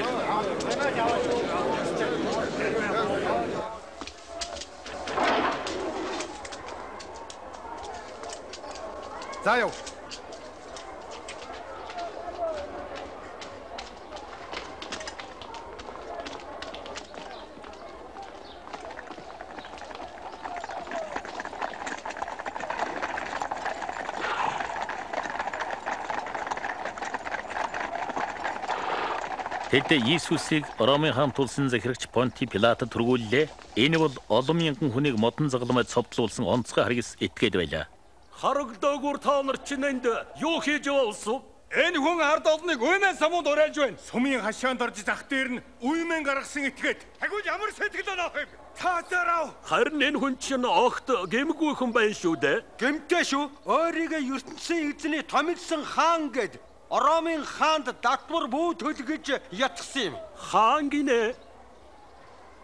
Та тэгээд юудын хаан юм уу? Таач хэлж байна. Галилаас гараад одоо бүр энд ирчихэд байгаа юм. Галил гинэ. Галил аймгийн хүн юм уу? Тэгвэл хэргийн хэрэг хаан шийдвэрлэнэ. Хэрэг хаан энд байгаа бах. Тийш наваад яваа.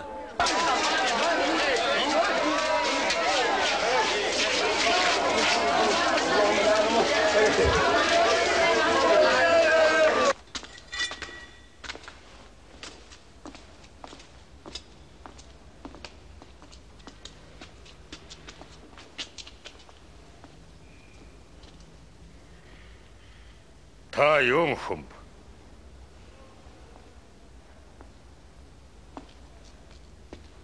Агалдагчд гэдэг чинь хэмб.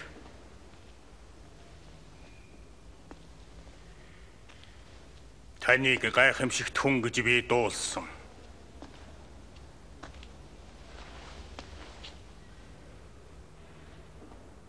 Та надад нэг үзүүлээч. Хүнд та минь энэ хүн чинь өөрийгөө хаан гэж ард түмнийг өдөн хатгаад байгаа юм. Энэ үдэ хаан гинэ.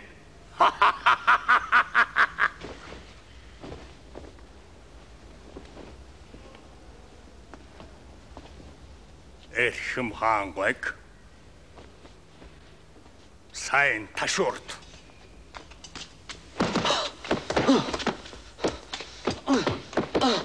Энийг Пилатад буцаа. Энэ хот түүний харьяа.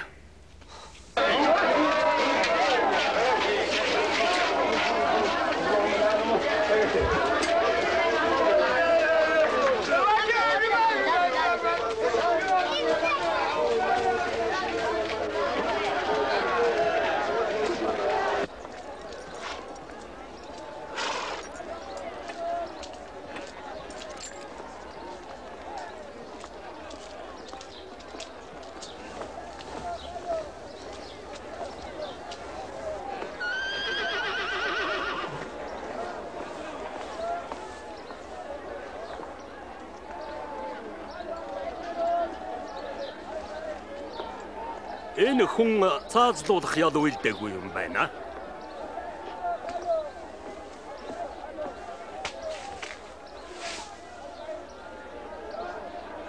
Би ташуурдуудаас сулжчихъя гэж бодож байна. Гэлвэрийн баяраар та нэг хоригдлыг олны үслээр сулалдаг шүү. Тэгвэл Варавыг чөлөөлж өгөөд. Тийм ээ. Энийг цаазалж.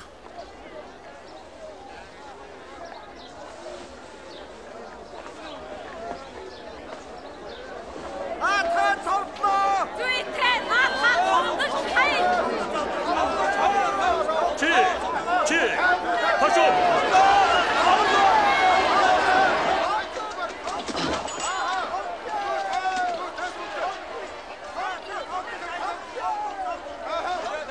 Та та юугаар хүлээгээд байгаа юм бэ?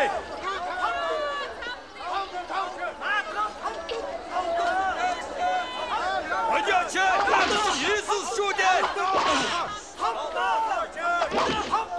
Чи наатхан юу дээр савнаад байгаа юм бэ? Чинээс явах шүү дээ.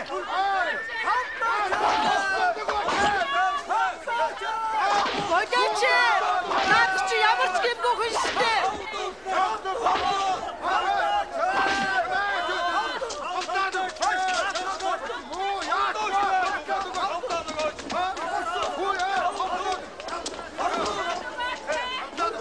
Босгоод Иесусыг загалмайд цодлох тухай тэд улам эрчимтэй шаардах боллоо.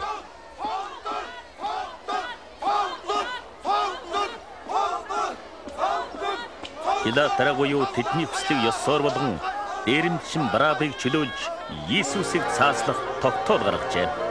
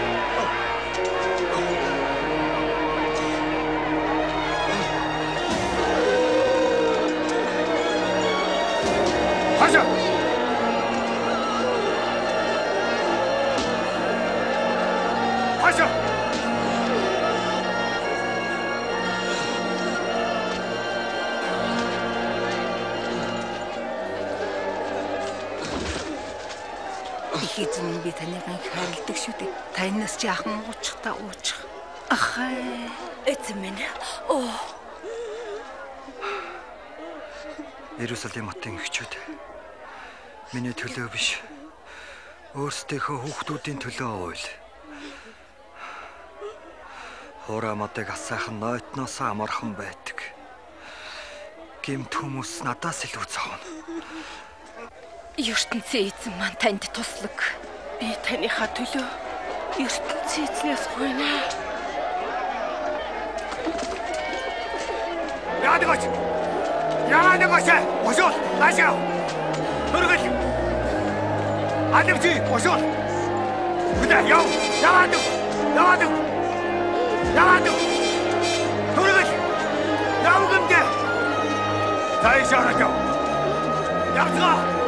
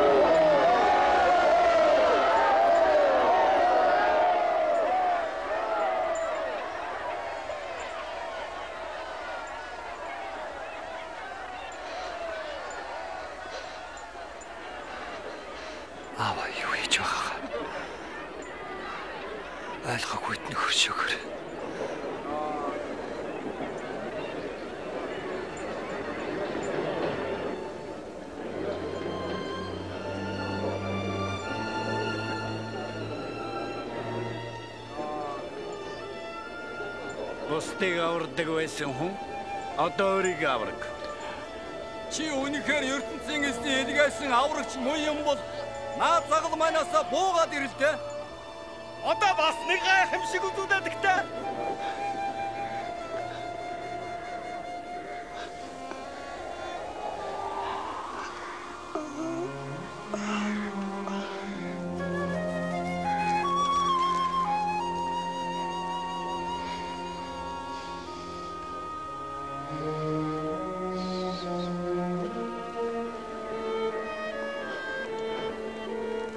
Хоёр гэмт хэрэгтэн Иесус нь хоёр талд цовдлогджээ. ертөнцийн эзнээс ирсэн аврагч гэмт хэрэгтэн мэтэд цаазлуулна гэсэн зөгнөлтөг ёсоор боллоо.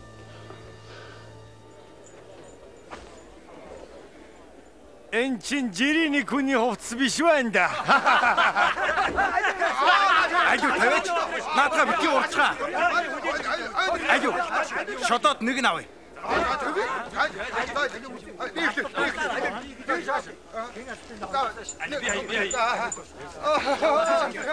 Астайрэ. Чи наадгаар юу чинь?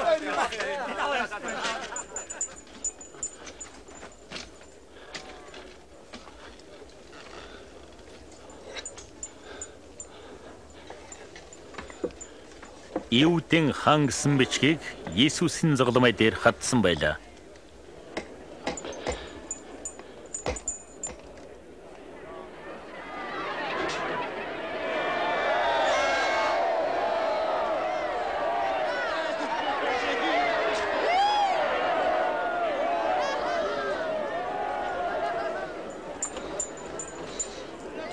Июдэн хаа юм бол өөрийгөө авраач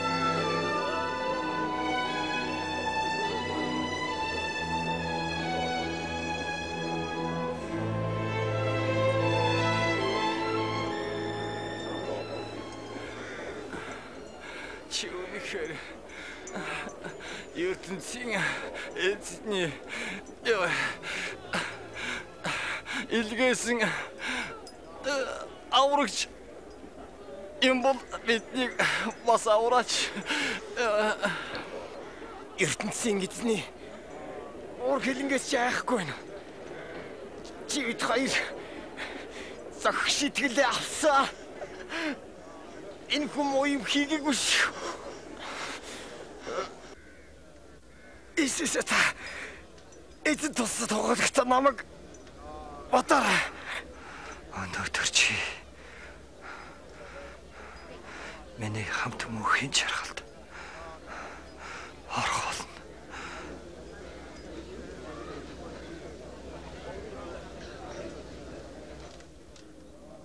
Үдийн үед нар хэртэж 3 цаг болтол газар сайгүй харанхуй боллоо.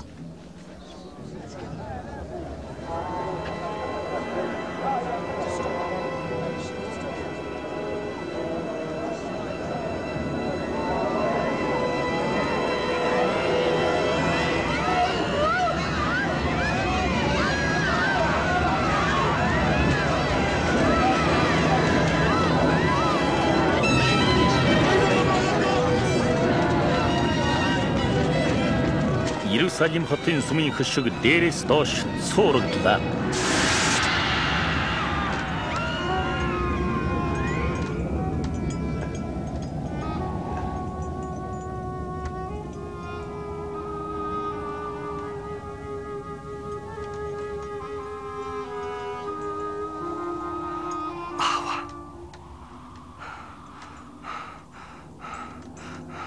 Сүнсэх минь.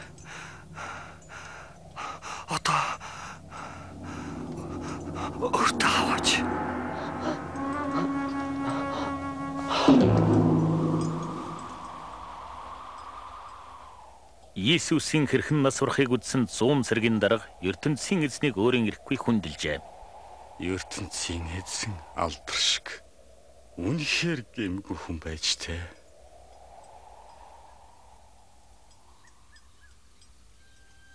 Аримат хотын Яс бол Юудэ шүтэн оглогч нарын зөвлөн гишүүн юм.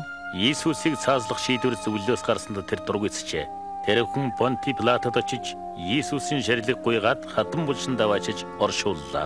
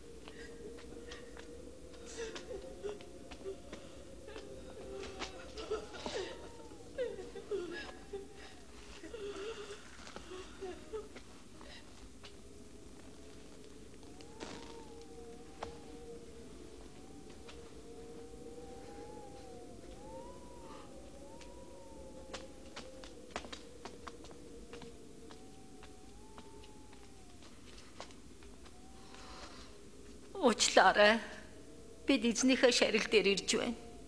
Тэр яах вэ? Та нар бямгаргаас наанал амжицгаагаарай.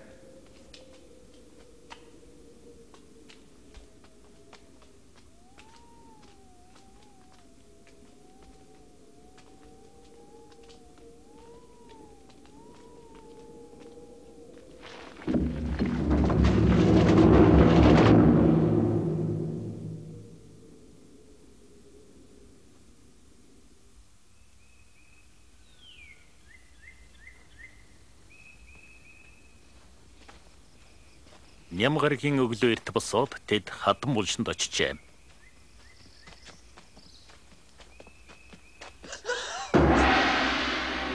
Тэд агуйн аман тавьсан үхэр чулууг зайлуулчихсныг үзээд айхан улмаар булшинд ороход шарил байсангүй.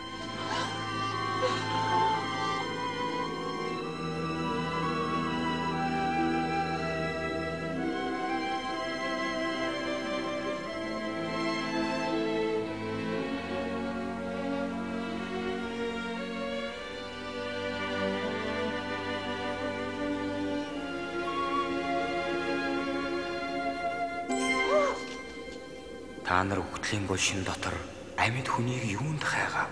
Иесус амь орсон. Галил аймагт байхдаа юу хэлснийг санаач. ертөнцийн эзний илгээсэн хүн гим төмсөд цогтлуулвч алгацснаасаа хойш 3 хоногийн дотор дахин амилнаа гэсэн биш үү?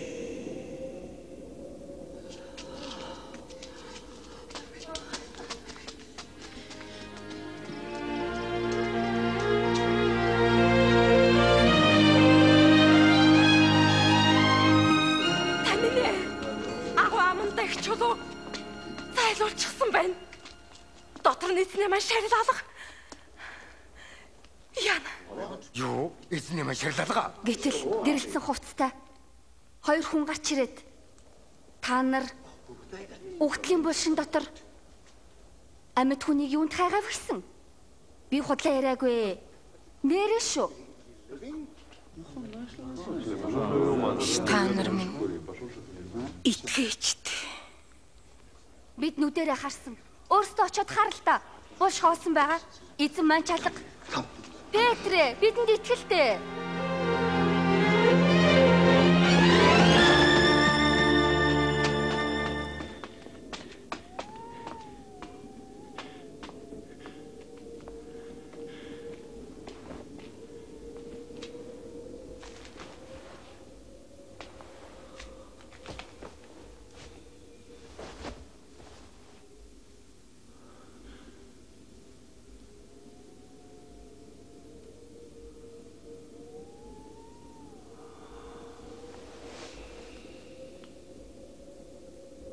Иесусийн хоёр дагалдагч түүнийг бас харж чад бусдад энэ тухай ярьлаа.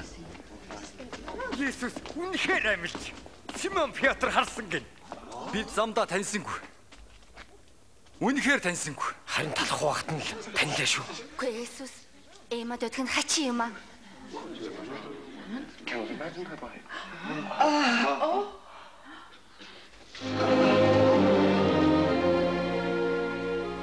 Амар байна уу?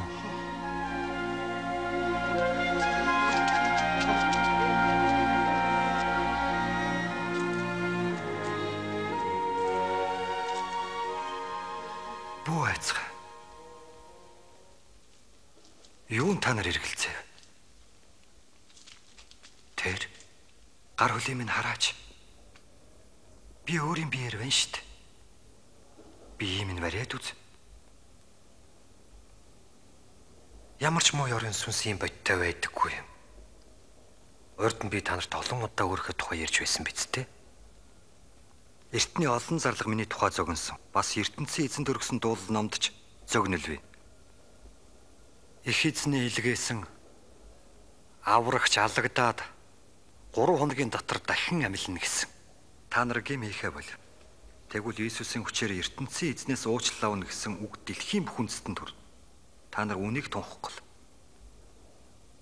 Эцгийнхээ амласан ямыг би та нарт өгөхөд түүнийг аваад ер бусын их хүчтэй бол харин та нар автлаа. Энэ Иерусалим хотод хүлээцгээж бай.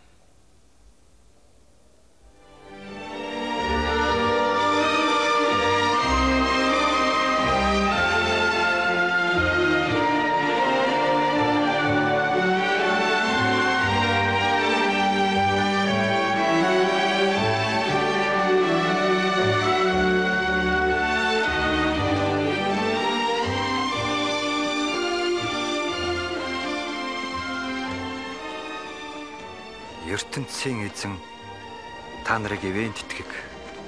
Эцэг маань надад бүх орчлонг захирах хэрэг өгсөн. Тийм учраас та нар бүх улс үндэстнийг надад итгүүлж миний хоньоос дагуул. Тэгээд ертөнцийн эзэн эцэг түүний хүү болон ариун сүнснийх болсныг атлан энэ гурван нэрийг хэлж тэдний ёсоор угаа. Миний зааж өгсөн олон юмыг та нар өөр үндэстэн зааж өг. Би энэ дэлхийд дахин өөрийн биеэр иртлээ. Та нартаа сүнсээр цаг ямагт хамт байх болно. Үүнийг батсан агтуу.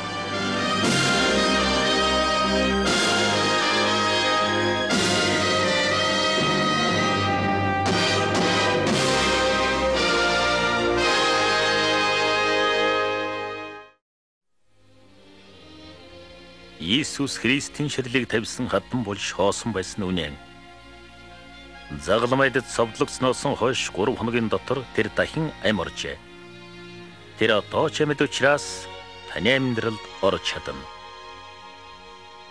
Би хөхсдгийг хүртэл дахин амилуулж амьдрал өгч чадна. Надад итгэсээр нас барсан хүнийг би дахин амилуулна. Иесус Христийн хуаймарсноос хойш 2000 гаруй жил өнгөрлөө. Түүний амьд хүч чадал хүн төрөлхтөн дасар их нөлөөлж байна.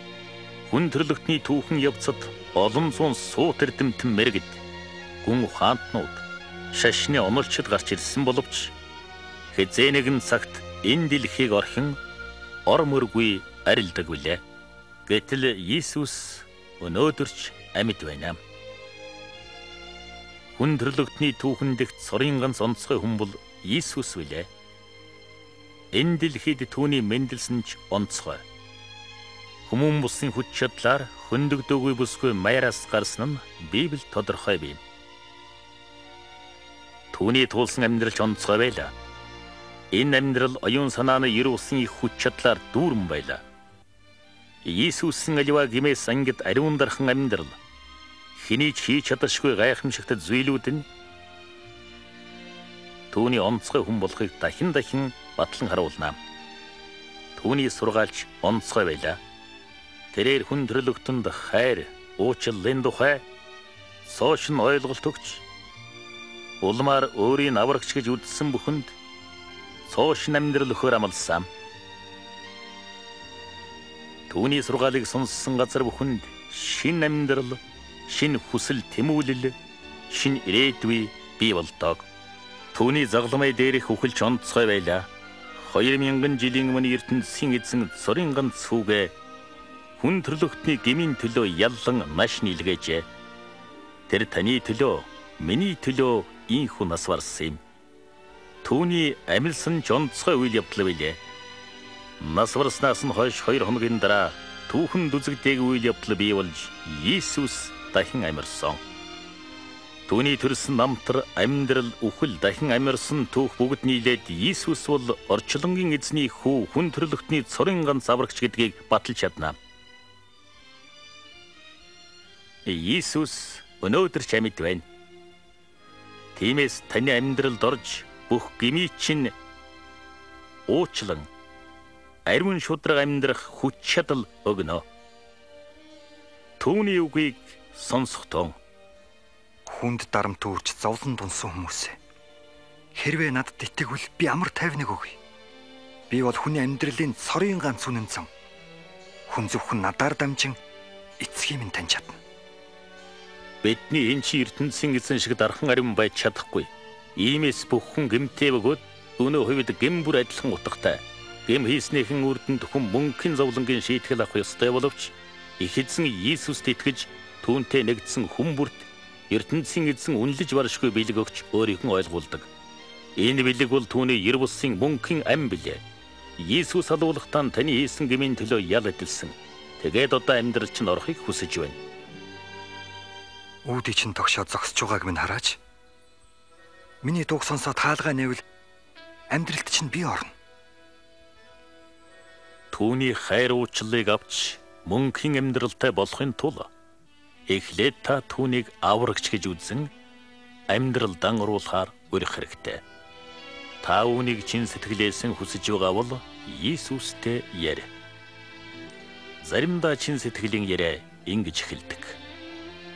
Их эзэн Иесус минь ээ. Таныг би одоо таньлаа. Миний гмийн төлөө загалмай дээр цовдлогдсон нас барсан чинь баярлалаа. Одоо би сэтгэл зүрхэн танд нээж амьдралд минь аврагч их эзэн болон орохыг урьж байна. Өөрийн хүссэн ёсоор амьдралын минь өөрчлөн захираач. Хэрв та хүсвэл яг одоо дээрх үгсийг Иесуст чин сэтгэлээс хэлж болно. Та намайг дагаад хэлээрэй. Их эзэн Иесус минь ээ. Таныг би одоо таньлаа. Миний гмийн төлөө загалмай дээр цовдлогдсон нас барсан чинь баярлалаа. Одоо би сэтгэл зүрхэн танд нээж амьдралд минь аврагч их эзэн болон орохыг урьж байна. Өөрийн хүссэн ёсоор амьдралыг минь өөрчлөн захираач. Өөрөсөн хүний амьдралд орно гэдгээ тэр бидэнд аль хэдийн амласан билээ.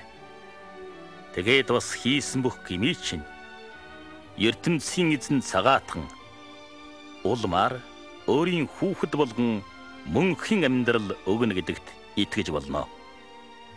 Хэрэг та Иесусийн амлсан сэтгэл дүрэн амьдралыг авъя гэвэл түүнтэй өдөр бүр ярилцаж амьдралын олон чухал асуудлаа шийдэхэд Библиэс зөвлөгөө авч Иесусийн хойноос дагагч бусад нөхөдтэйгөө байнга уулзаж байгаарай. Төгсгөлд нь хэлэхэд түүний гайхамшигт сайхан амочгийг үргэлж санах тун энэ нь би чамайг хизээч орхихгүй гэсэн үг үлээ. Иесус хэлэхдээ энэ дэлхийд би дахин өөрийн биеэр иртлэн та нартайгаа сүнсээрээ цаг ямагт хамт байх болно.